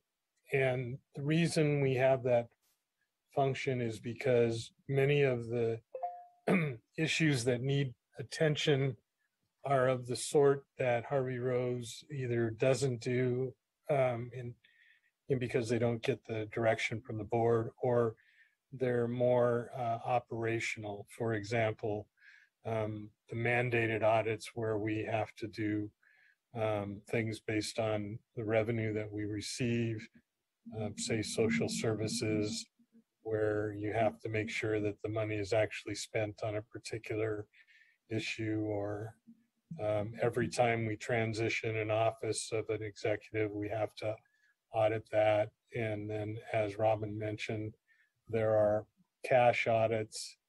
The hospital has an audit function in terms of quality assurance, which is not under um, Robin, but coordinates with her IT has an audit process for security. Um, number of other operational audits where they're looking at required or necessary reviews with outside eyes on a particular function. Um, that's different than external audit, Harvey Rose. And um, the in- internal audit division has existed for a long time, forever, basically. Um, it's not been typical that we have so much that needs to be done um, so that we consider bringing in additional resources. But as you point out, um, COVID really put a lot of stress on it. And, you know, we're going to have audits of all of our FEMA expenditures, ARP expenditures, any other expenditures through the hospital that come with a lot of regulations attached. So we probably will need to expand capacity for internal audit to make sure we don't um, get audited from the outside and get surprised by something. Um, so hopefully that answers your question. So Dr. Smith, you're basically saying that you believe you will be uh, looking to hire more folks internally to help auditing? Yes, I think so, because um, the types of audits that are required for FEMA and for the sta- uh, state and federal relief uh, funds that we're going to be getting, ARP and, you know, CalAIM and all that, they're real-time audits um, where they have to be done on a regular basis. They're not audits that can wait till the end of the year. And so there is time urgency about it. And if we don't do them correctly, we get into trouble. Plus, we have, um, you know, we know that FEMA and others will do their own external audits after we've expended the money. Um, and oftentimes those audits will take 10 years before they're finished. And they require a lot of cooperation with our internal audit team in order to make sure that um, everybody gets the right information. And we expect that in the hospital as well as related to the COVID expenditures. So there's going to be a need for a lot of people to be reviewing um, real-time expenditures and revenues. Yeah, thank you, Dr. Smith. Yeah, I've uh, learned the same thing about these uh, type of uh, funds. Uh, all these funds, FEMA, uh, relief funds, ARP, certainly there's a strings attached, right? It's not uh, money that they'll just give to you. The auditing function is, is significant.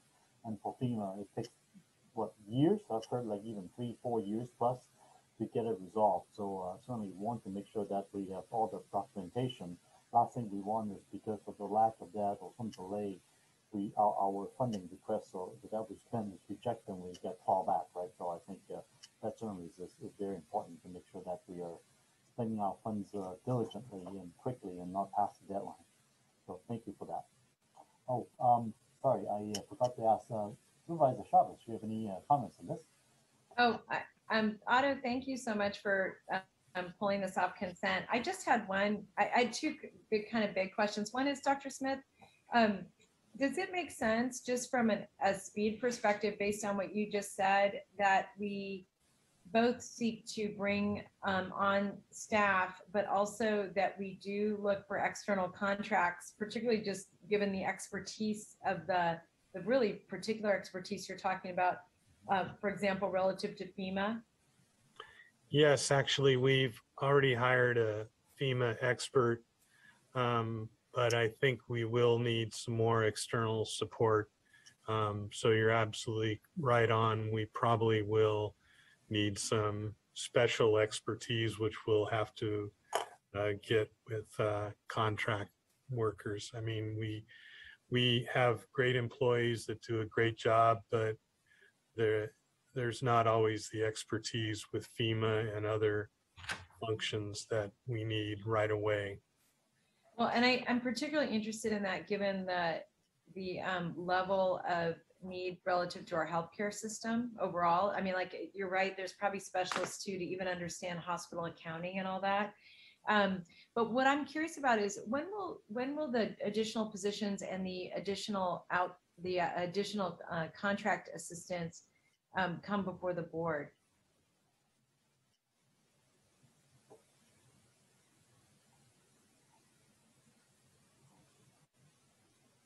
This is Robin. I can iterate that two positions were already presented for the recommended budget cycle that we're in the process of recruiting for. So internal audit currently has nine positions, which includes myself, the internal audit manager, the supervising internal auditor, and seven um, staff positions. And one of those staff positions is vacant. So we'll have three recruitments that we're working with ESA and HR.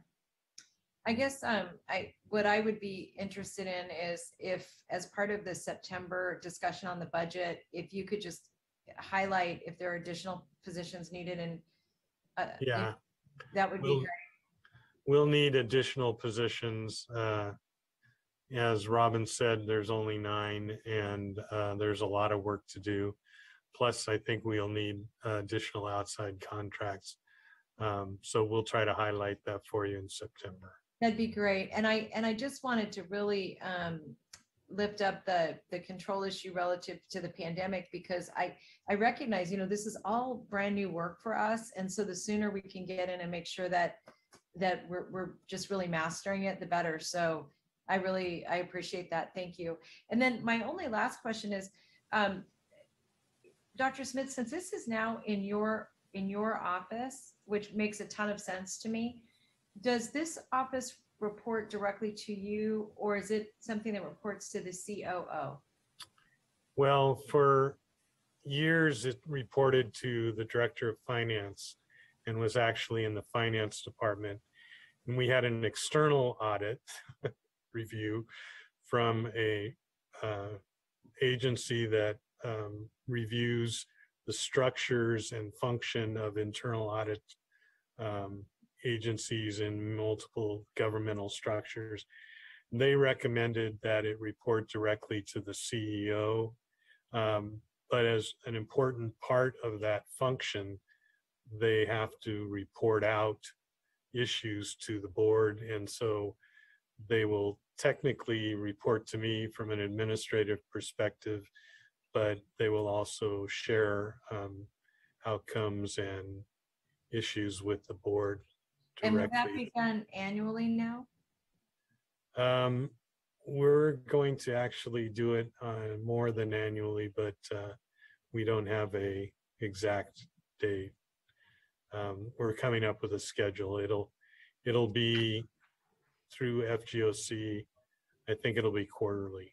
Got it, quarterly. That's great. That's helpful. Thank you. Don't hold me to that because Well, I know it's, it's a new, it's a new way of doing it. I was, I was actually really intrigued with the report. It was very informative. Thank you. yeah. And I would move receipt of the report. Oh, yeah, I'll second it, and I'll go ahead. Uh, Is there any uh, public would like to speak on this? There are no requests to speak. All right, we'll go ahead and close the public hearing, and do I, well, we already have moved and seconded. Uh, Let's go take the vote. Vice Chairperson Chavez Yes. and Chairperson Lee. Yes, indeed. Thank you. Thank you. We have a unanimous vote, and moving on to the next item. I believe uh, should be item 11, am I correct? Okay. Yes. Yes. Okay, uh, item eleven is to receive a report from the Office of the Sheriff relating to creating positions. Here to present this item, I believe, have uh, Sheriff Smith or your staff is here.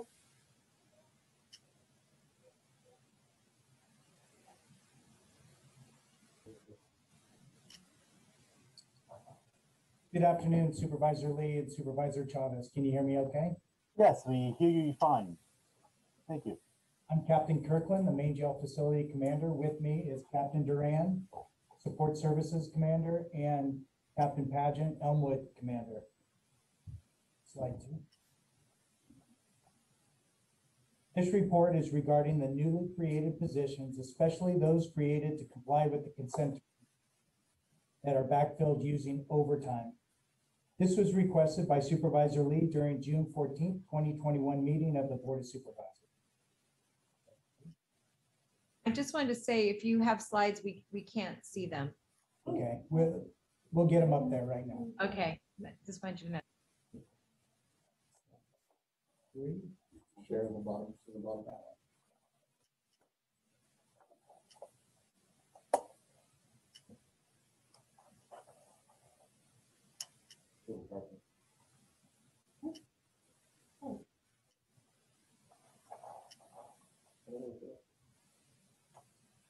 I'm going to go ahead and start. Um, Slide three is going to show the Office of the Sheriff is allocated a set number of positions each year during the budget process. This graph, which will be shown shortly, has the total number of positions, both sworn and non-sworn, allocated during the past five fiscal years. As you can see, the number of positions within the Office of the Sheriff and the Department of Corrections has been on the decline over the past five years, despite increasing demand and expectations on staff. Prior to the start of COVID-19, our deputies were faced with increasing demands on training and duties as a result of the remedial plans associated with the consent decrees and from recommendations from the Board of Supervisors. Since the start of COVID-19, our deputies have been tasked with additional duties to protect inmates, visiting, visit, I'm sorry, visitors, staff, and the community. To meet these vast demands, new roles have been established. Overtime has been used to pay for these positions. The following slides outline these positions. Slide four.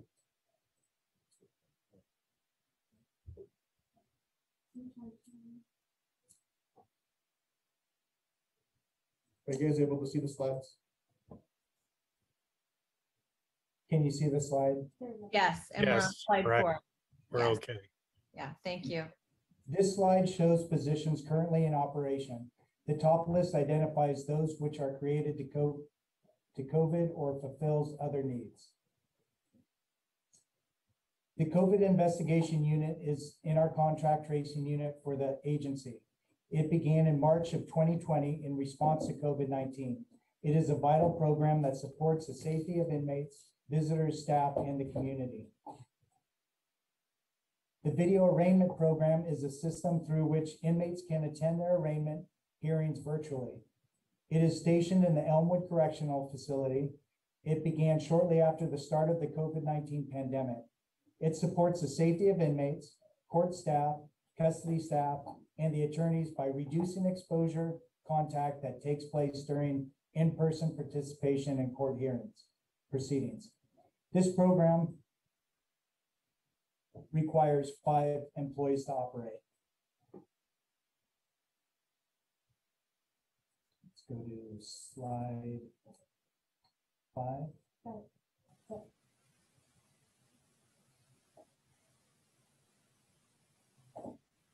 Good afternoon Supervisor Chavez, Supervisors Lee. Uh, my name is Captain Mark Patchett at the Elmwood facility.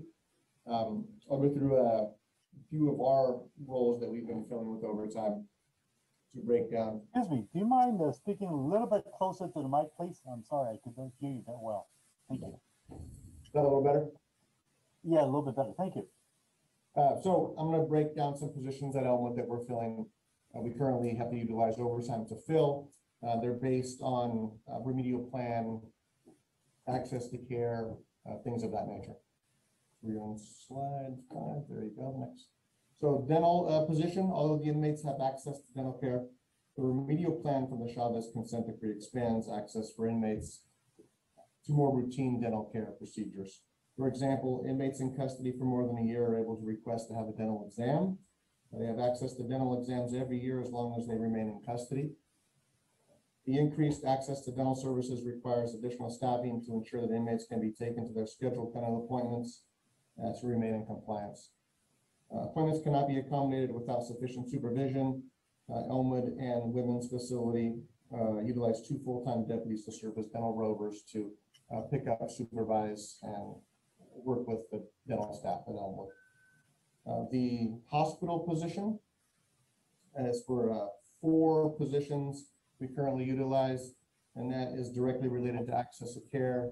Um, in similar fashion, there's always been a need to transport inmates for health-related reasons to outside hospitals or clinics, uh, such as uh, specialized clinic medical care. However, re- remedial plan from both the Chavez uh, consent decree and the Cole consent decree uh, have increased access requirements to specialized care.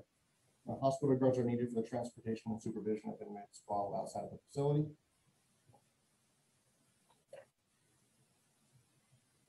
Uh, the M1 positions, uh, M1 is a building that we started occupying several years ago when we went through remedial plan uh, construction. It's used as swing space. When we close down units, we will uh, move that population to M1. Also with the uh, COVID pandemic, we used it for COVID housing. Um, It's a, a medical type of a, uh, a building. It has uh, negative air rooms and things like that to where we can put uh, individuals who are COVID positive or um, undergoing some type of uh, COVID test due to being symptomatic. Uh, It houses numerous security levels due to its operational design. It requires more staffing than normal housing units. Um, We covered the swing space and due to the large number of construction plans that we have going on, currently the main jail has the infirmary closed for uh, ADA upgrades and all of the infirmary population is currently housed at Elmwood. W four and the W four C positions at the women's facility are directly related to additional staffing uh, requirements to comply with out-of-cell activity due to the remedial plan. Both of these units house um, sever- severely mentally ill population and the increased time in working with custody health to get structured program um, facilitated for that population. M eight uh, D and M8H and M8 movements. Uh, The additional staffing is directly related to the building of M8. It's required to assist in providing access to medical care, mental, mental, uh, mental health services while, and also while maintaining facility security of the building. Uh, Staff also needed to assist the module duties to allow for increased program time. They're both required by remedial plans, as we know. In addition, these staff escorts and supervise inmates to interviews and other visits. Slide six. The main jail has the same needs for dental rovers and hospital guards as Elmwood and CCW. Unit two B serves as an overflow housing for both seriously mentally ill inmates and COVID-19 patients. Compliance with the remedial plan requires additional staffing to ensure the safety of medical and mental health staff as they meet their needs of these patients and the requirements for out-of-cell activities. Four C three houses inmates who are seriously mentally ill. So the additional staffing is used in a similar fashion. This is an indirect supervision module, so there is an additional task of applying restraints and escorting all inmates to the sun deck to ensure compliance with the out-of-cell activity requirements of the remedial plan. Excuse me, um, are you still on slide number five? This is slide number six. Six, I'm sorry, yeah, uh, would you, somebody want to move it to six, please? It is on six. sir. Ours, ours. I'm looking at five, I'm sorry. Okay. We'll try again. Here's Elmwood. Should say main jail at the top. No, it still says doesn't. Elmwood. Elmwood, yeah. Okay, let's.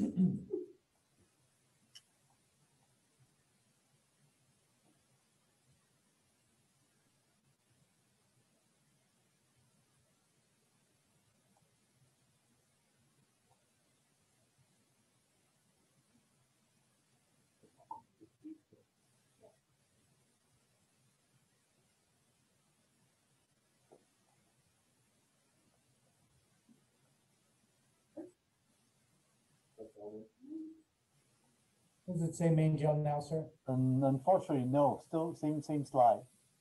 Okay. Oh, Get it? I thought it did, but it went away really fast. So sorry. No, no. Okay, we'll try one more time here and then. Sure, sure, sure.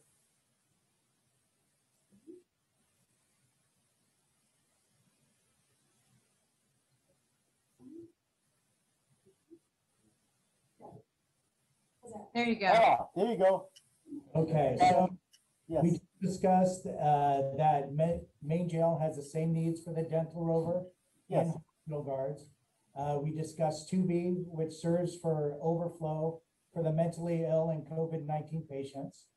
Four C housing is also for seriously mentally ill and requires um, the applying of restraints for escorting these inmates to their uh, programs. Um, Now on to seven B and seven C. Each requires additional staff members to ensure compliance with the increased out-of-cell activity and program time required by the remedial plan and to maintain the safety and security of the facility. The eight A units require additional staff to ensure compliance with the increased out-of-cell activity and program requirements by the remedial plan. In addition, the staff provide for safety and security of the facility, which allows custody health service to attend to the high medical and mental health needs of these inmates. This is our mental health housing unit, eight A.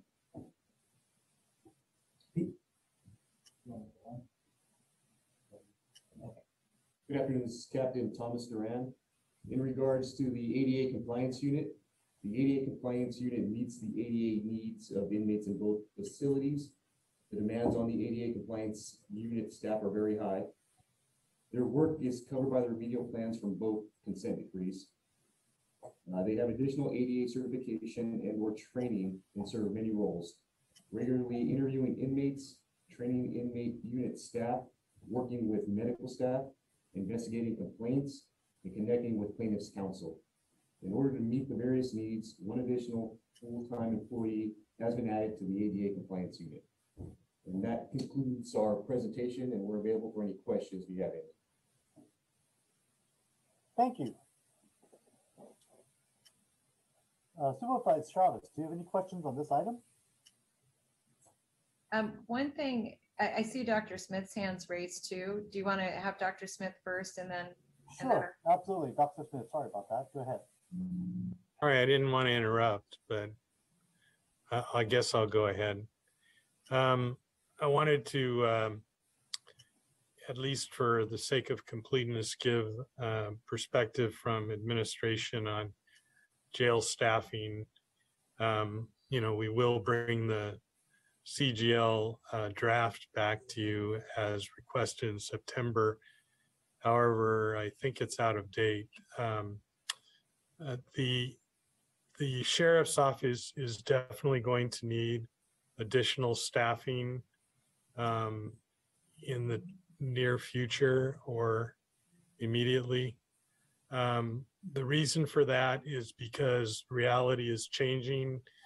Um, the board uh, committee knows that the board has been uh, debating whether a new structure will be built.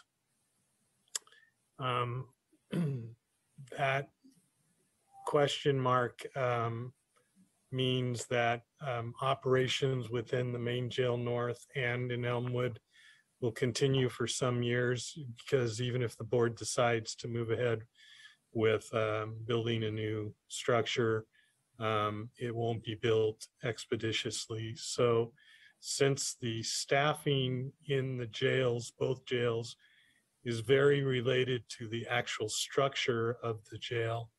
Um, we do need additional staffing compared to what we have now. In addition to that, we know that there is a lag time between creating positions and actually having bodies in positions. And we've gone through that many times, so I don't need to go through that, but that will require uh, significant attention and augmentation of the sheriff's custody budget. Um, the CGL study, the reason why I think it's a little dated is because it was done at a time period when our, it was presumed that our census would stay the same after we closed Main Jail South. So I think the presumed census was 3,200. We're now down in the 2,000 range. Um, but that being said, we do have additional needs, which the sheriff's office went through in some detail, and we do have problems with transport. Uh, not, well, a little bit of problem with transport, but uh, transition, uh, access to healthcare, you know, attendance. So um,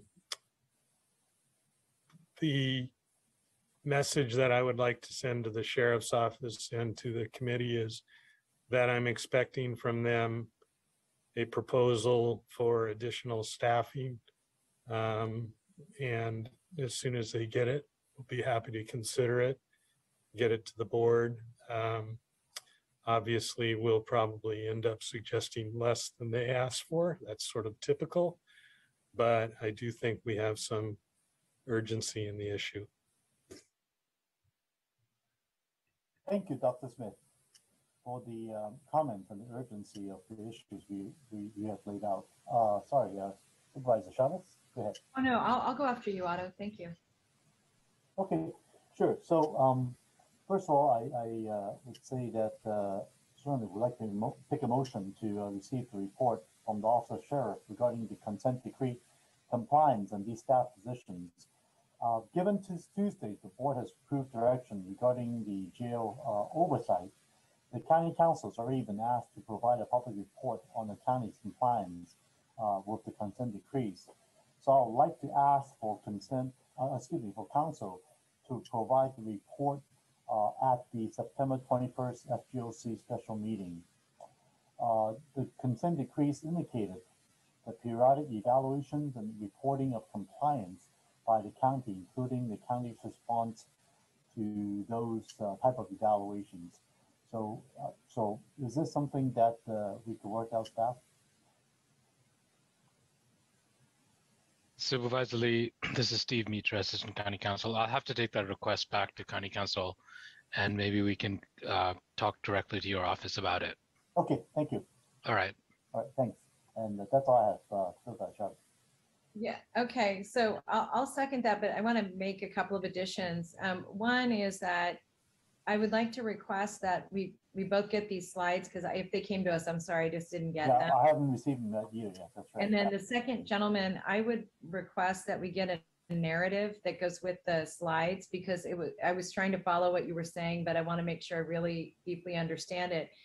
And second, you know, I, I think that the, um, that one of the issues that's been a, a real significant bone of contention for, at least since I've been here, is this really kind of cracking the nut on when, under what terms and conditions we're using overtime versus um, filling enough vacancies. And, and I have asked in the past for an analysis of that, both from the county staff and from the sheriff's office. And what I've received for the most part has been a list of requests versus the, and by analysis, what I mean is if we're using this much time in overtime, that that equates to not, not just the math of dividing that up over X number of days, but, or X number of hours, but where we're seeing the surge of the need in overtime. You know, is it, you know, you all described some of the, the units that have particularly high need. And I think that any kind of analysis needs to be so detailed so that we all really are able to deal with apples and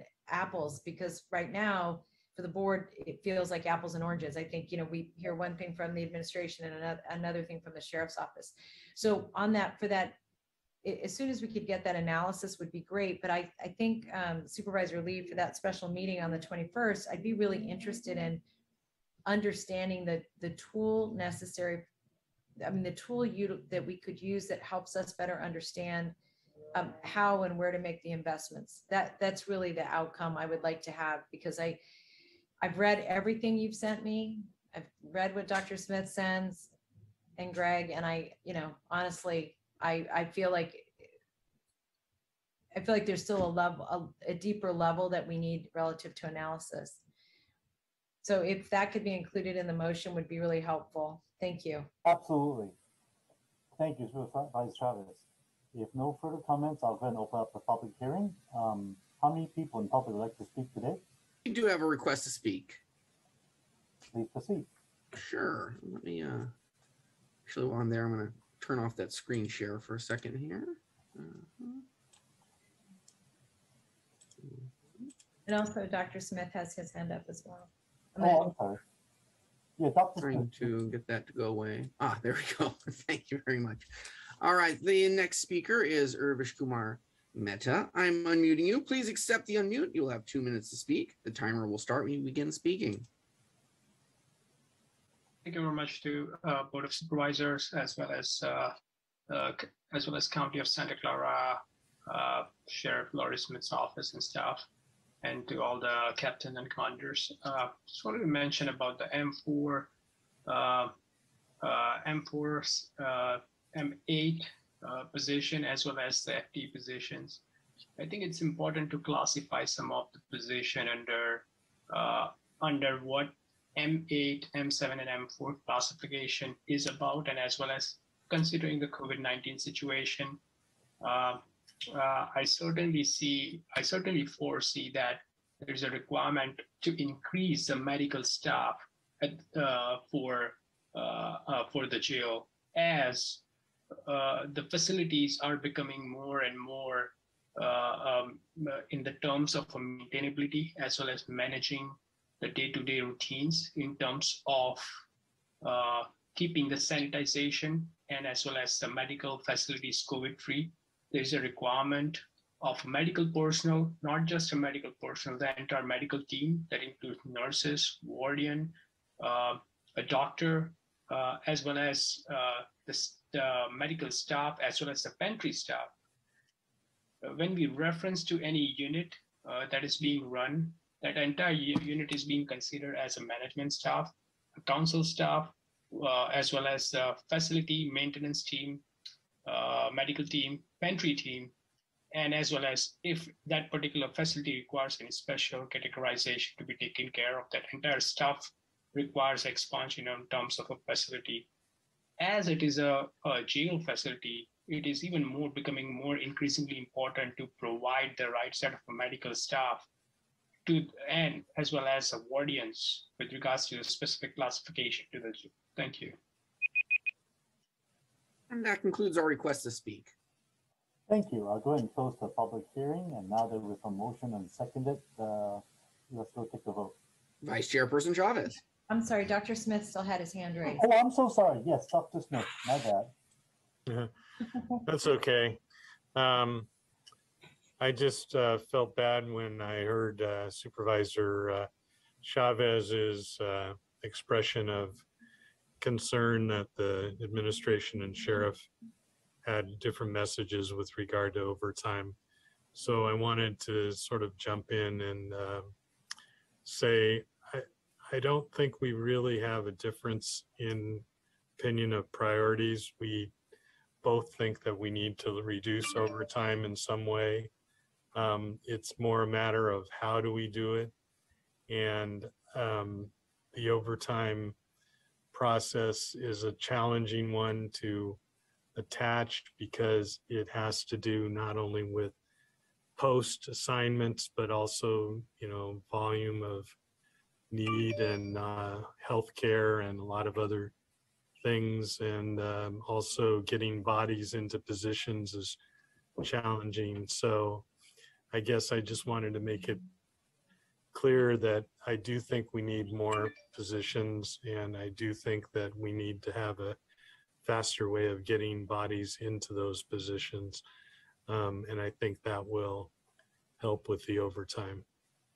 And Dr. Smith, I really appreciate that. I think what I'm referring to is not today's comments. This is actually the the first time maybe in maybe that I can remember that that there's concurrence and I think that's very exciting. Um, I think what I was referring back to is for years this debate has been been going on and so one of the one of my hopes is that as you um, working with the sheriff's office come back to the board for these additional positions. And frankly, um, you know, I, I, like many of us have been really interested in these, um, the academies moving forward, even during kind of tough times, because these are such difficult positions to hire for. And there's some departments, as you know, um, that I think we should overstrengthen and some subsets of departments that we have to overstrengthen. For example, you know, in the CAN center, we never want to have those phones not staffed with the appropriate skill set as an example. And that's probably true in the sheriff's office as well. And so what, I, what I'm just asking for is that recognizing the, the points that you raised is just better understanding how each party comes to the conclusion it comes to so that so that the board is is in the best position to understand collectively and even as individuals what, what we can recommend um, fulsomely. And that, that's really what I was trying to get at. But I appreciate the point you're raising that, that, um, that we're going to come at this in different ways. I- I just want to better understand the math that gets us each party to its recommendation. Got it. Thank you. I appreciate that. All right, thank you. And um, ready to go ahead and take the vote? Vice Chairperson Chavez Yes. and Chairperson Lee. Yes. Thank you. All right, then we move to the next item, will be item number fifteen. Probably hear my voice a little bit more. Good afternoon. Uh, This is Dave Barry, Chief of Facilities Planning with Facilities and Fleet. Um, I don't know Supervisor Lee, Supervisor Chavez, do you want me to go over the presentation or would you like to skip that and go directly to any questions you might have? I think we were on item 15. We can take them out of order if we, we like, because, uh, uh, oh, I'm sorry, Dave, are you going to talk about 15?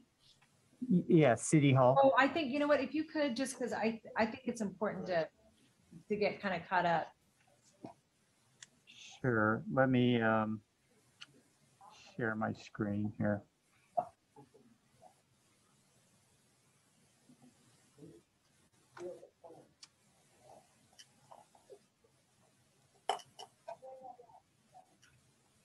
Can you see my screen? Yes, we can. Okay, so um, Okay, so as you can see from the slide here, um, going through the process of uh, CEQA for the potential demolition of former San Jose City Hall project. Um, We are currently in the um, final stages of reviewing the EIR uh, based on the comments that we received. And um, we are, um, I'm working with County Counsel Lizanne Reynolds, who's also here today, and we are finishing that up. Then we need to take it to the Historical Heritage Commission regarding a landmark alteration permit. And then we will return to the board in the fall with a formal recommendation regarding the former San Jose City Hall facility.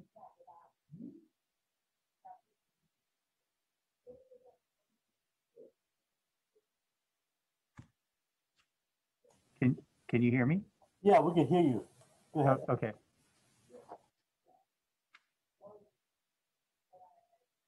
That, that's all my comments that I have about that. Okay, all right, thank you. Um, Dave, that was uh, short and sweet. Um, Supervisor Chavez, do you have any uh, questions on this item? Yeah, and like, um. Just one. Um, my one question is that, um, have we reached out to PAC SJ as part of your outreach program? Yes, it, it, we've, we've been, um, we've reached out to PACSJ throughout this process. And we've got extensive comments from them, which will be addressed in the final EIR. Excellent, thank you. That's all I had. Thank you, Supervisor Chavez. And actually, I have no further questions on this item. And uh, let's see, I have a motion. Uh, So moved? And I'll second it, and I'll go ahead and open up the public hearing. Anybody would like to speak on this in the public? There are no requests to speak. Okay, I'll close the public hearing and let's go take a vote. Vice Chairperson Chavez Yes. and Chairperson Lee. Yes, as well. Thank you. All right, and moving to basically our last item today, which is item number sixteen, receiving a quarterly report from the Office of County Executive and Facilities and Fleet Department relating to status of the fairgrounds master planning process. I believe today we have um, Mr. Glenn Williams, um, that's the developing manager here, um, to present. Am I correct?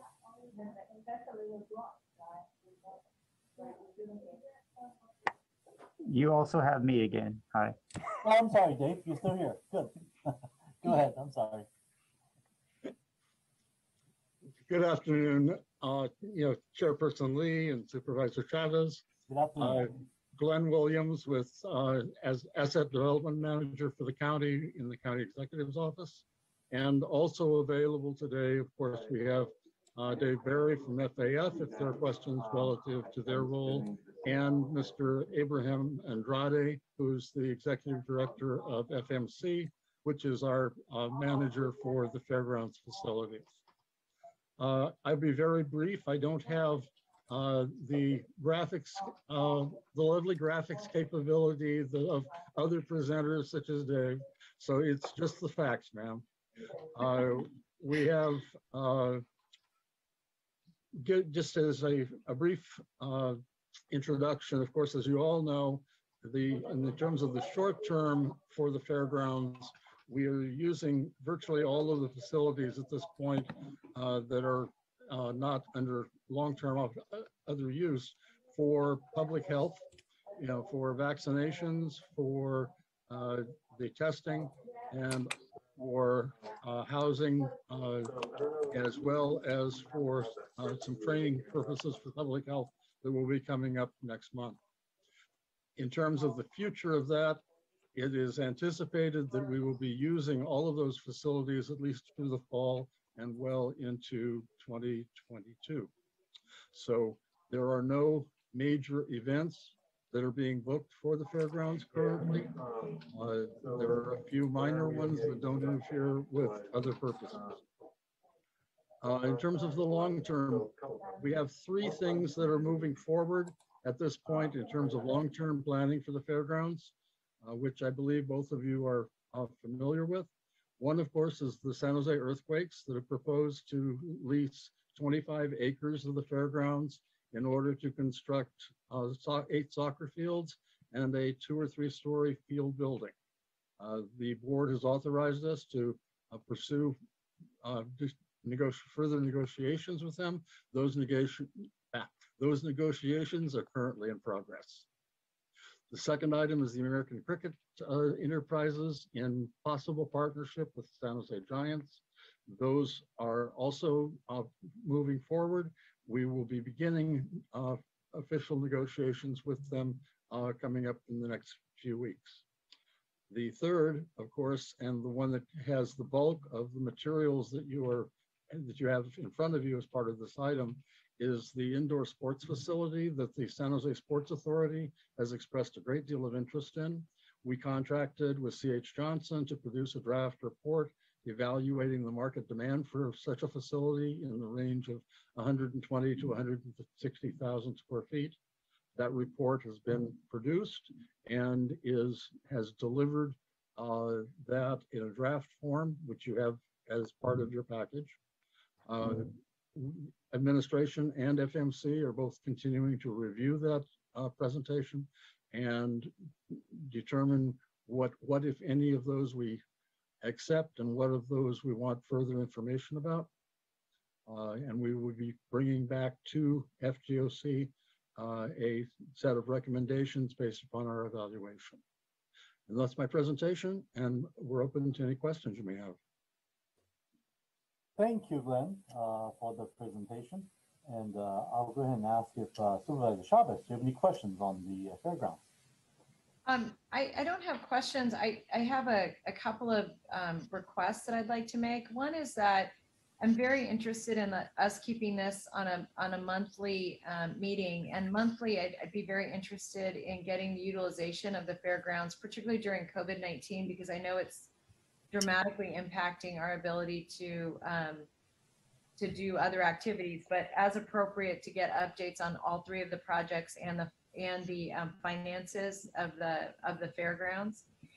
Um, and then secondly, uh, you know, I, I'm particularly interested in the financing mechanism for the the 74,000 square foot building on the facility. If you know, actually reading Charlie's report was um, fascinating in the sense that um, you know that, from a, a market perspective, I think it's very interesting to um, see what what could be paid for. But when I looked at each of the financial um, analysis, it was hard to understand how debt service was going to be serviced from the from the facility. And so, you know, I, I'd be interested in some some debt service strategies that I recognize may be connected to the entire development of the site.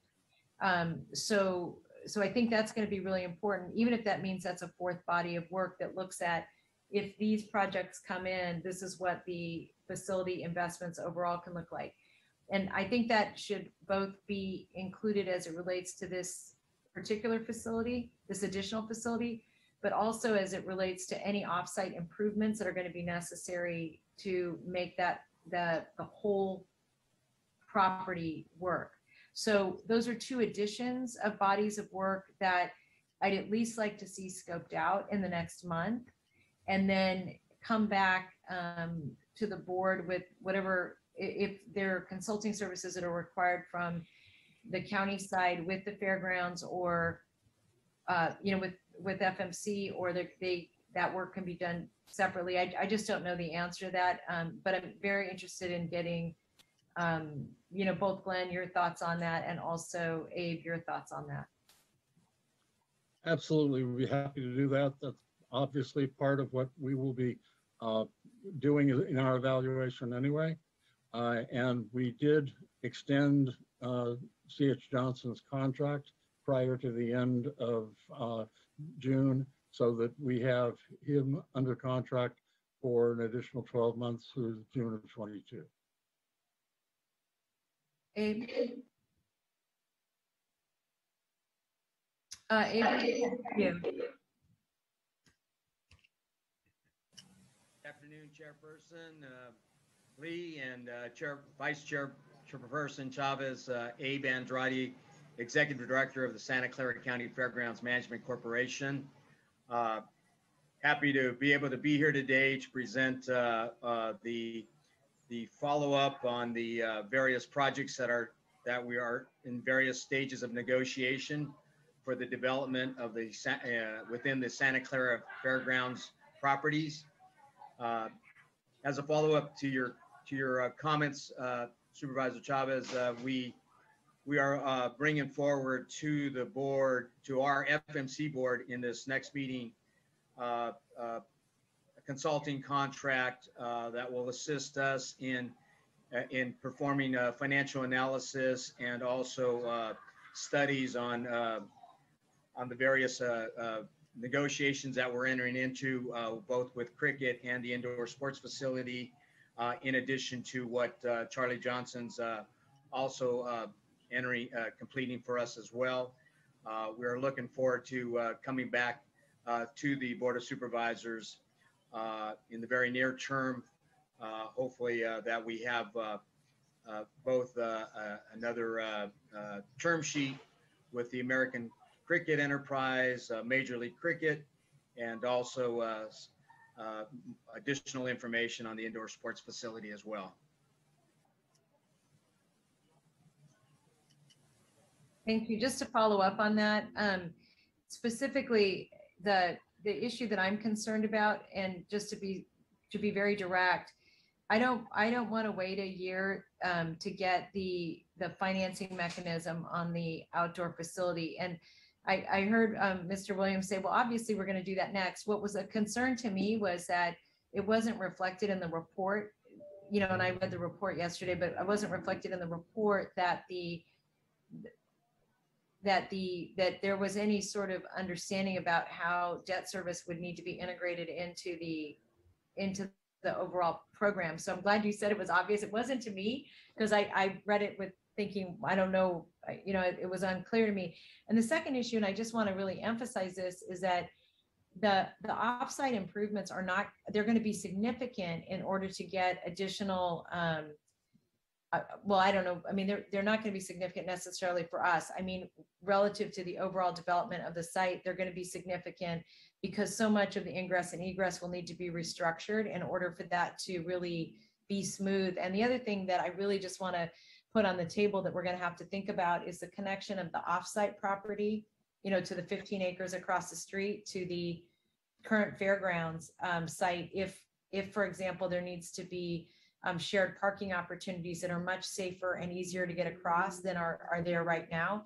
So that, that's what, when I'm talking about those offsite improvements, that's something I'm really interested in. And I, I think it would be of significant value while all of that is being uh, discussed and scoped out, that we look to partners like the Valley Transportation Authority and other partners who could have impacts on the property that um, that I'm sure you're already talking to, but I'm going to be really interested in better understanding what kinds of investments they're willing to make as well. You know, to enhance the um, the the, the ability for us to really engage folks to make investments in the fairgrounds. And then the one last thing I'm going to raise is that we have gone back and forth on this in term formally. And I, I don't know if Dr. Smith is still with us today, but I see Miguel.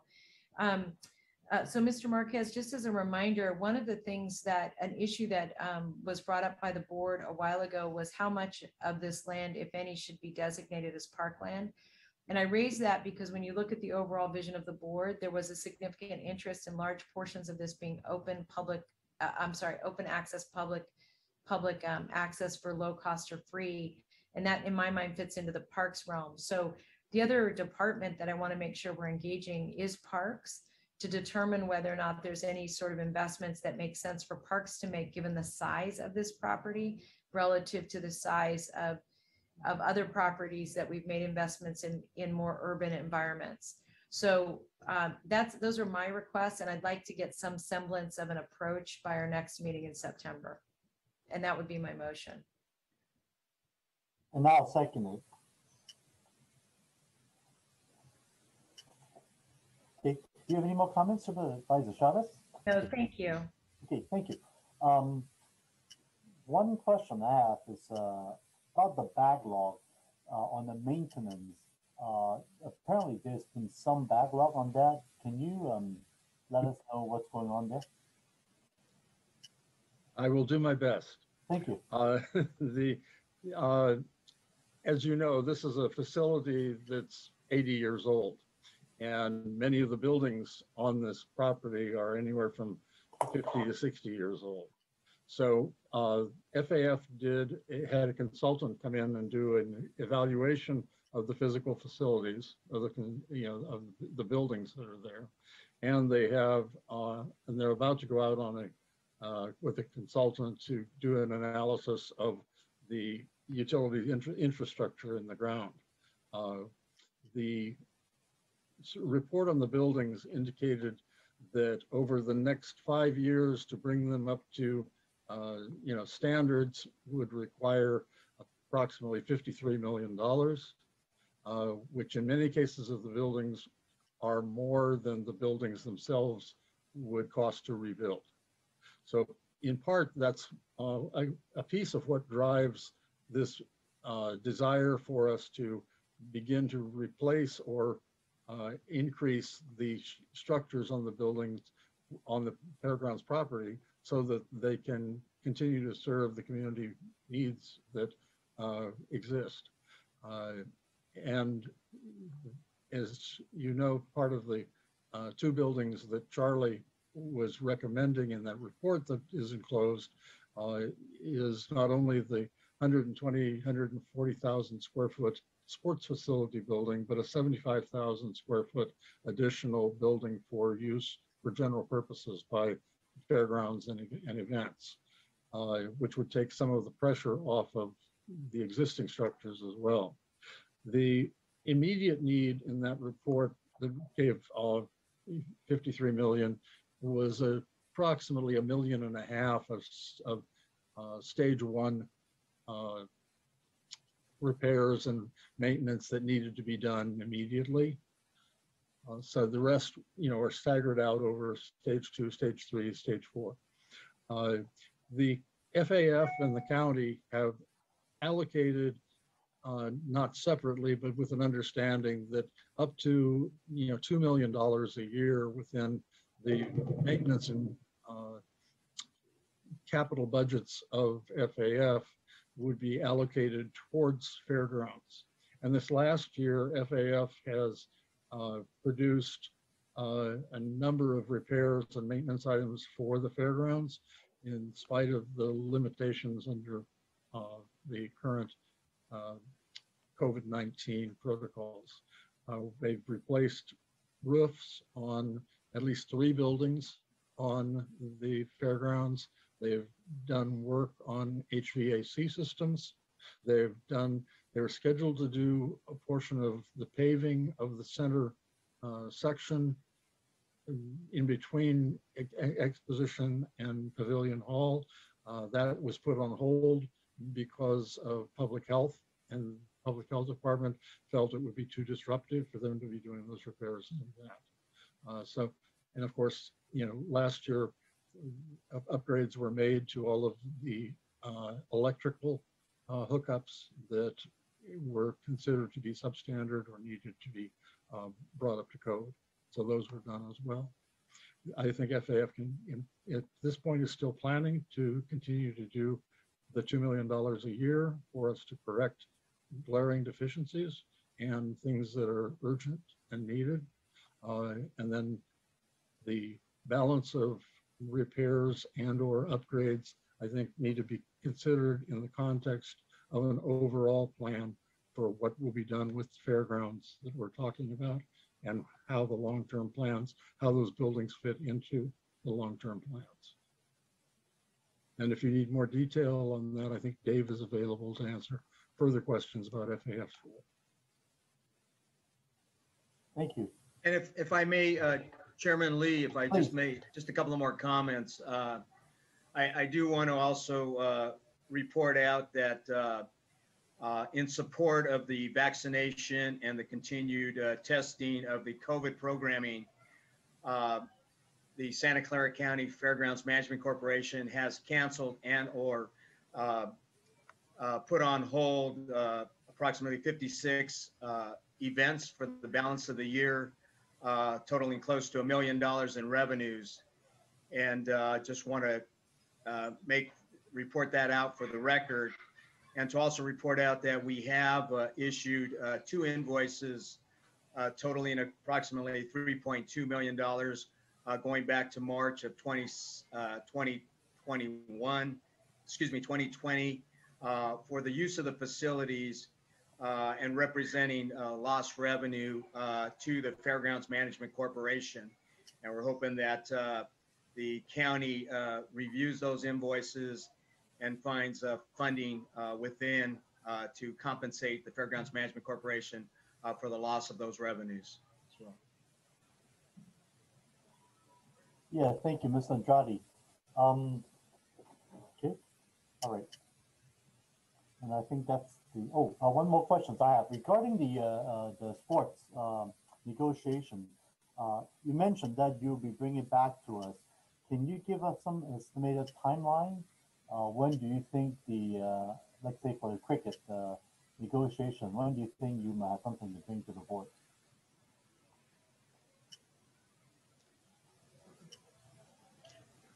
I don't have a specific date for you, Chairperson Lee.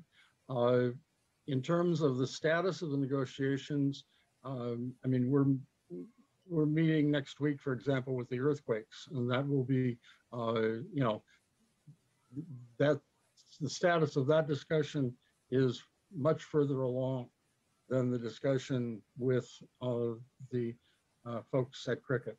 Okay, and so I would not anticipate having a, uh, a, a- an agreed upon deal sheet or something that we're ready to present to the board for cricket uh, until later in the fall.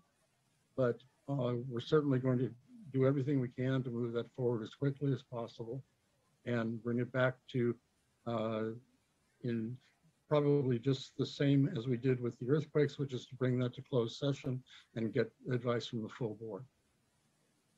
It- And- it- And it, Super, uh, Chairperson uh, Lee, you know, it should be noted that we have been working closely, both, not only with the earthquakes, but also with the Major League Cricket.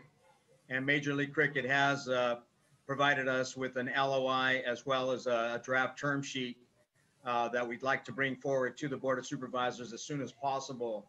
And uh, that will involve us, uh, including both uh, the, uh, the county exec's office as well as county counsel in order to bring those forward to the board.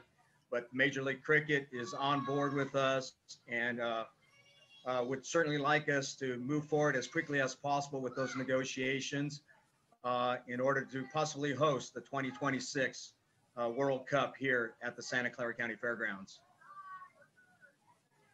Right, thank you, Mr. Andrade. I, I have the same, uh, same comments, uh, from the cricket representative, uh, this past Saturday when I was out there doing my first pitch, uh, in the Morgan Hill facilities.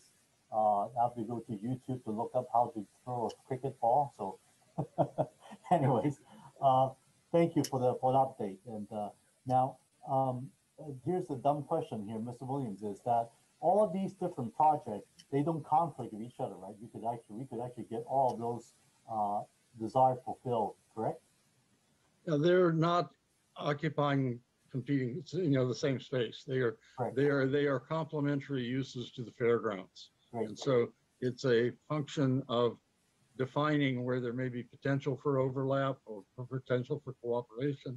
And so it becomes more complicated, but no, there's no, no direct conflict between all three of these. Great, all right, thank you. And that the cricket and the baseball will be sharing the space, correct? Well, that's, it's under discussion. Uh, you know, th- they have to agree before we can. Of course, of course. Okay, they, at They- this they point, are- they're, they're not both yet in the San Jose agreement. Giants, they, both the San Jose Giants and the and the Major League Cricket are looking at the possibility of joint of a joint use stadium. What is the possibility? How would you be able to retrofit the uh, the uh, the stadium on a short term basis, e- either for baseball and or for cricket, and looking at what the possibilities of are. So Thank you very much, Abe. Okay, good. And that basically is all the questions I have. Um, we have a motion, and a second. I'm going to open up the public hearing. Do you have anybody would like to speak? Yes, we do have a request to speak. Uh, the next speaker is Urvish Kumar Mehta. I am unmuting you. Please accept the unmute. You'll have two minutes to speak. The timer will start when you begin speaking. Thank you very much to all the Board of Supervisors, uh, as well as the, the County uh, Development Department. I think what I wanted to emphasize on uh, the three projects that's coming up. First is the San Jose earthquake.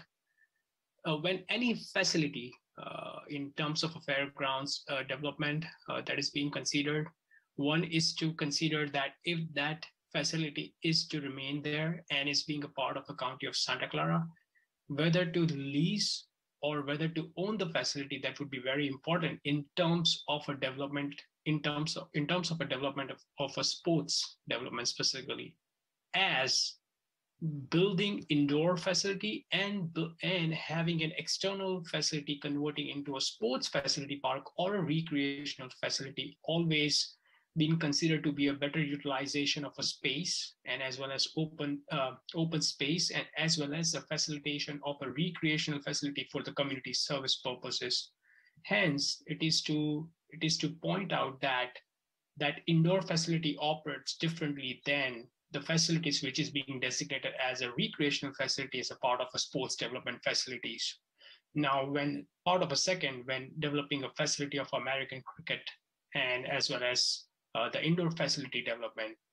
Sometimes it is being considered that when indoor facilities are being developed, they are mostly being they are mostly either being leased based upon the utilization, whether that sports facility is being utilized utilized as a commercial facility, for example, as uh, the SAP uh, the SAP Center at the at the San Jose. In the same way, if the facility is being utilized as a commercialized property, uh, commercialized facility, sports facility, then it is to be it is to be validated that, that the how lease versus owning concept works and how the funding is to be granted in terms for the development. Thank you.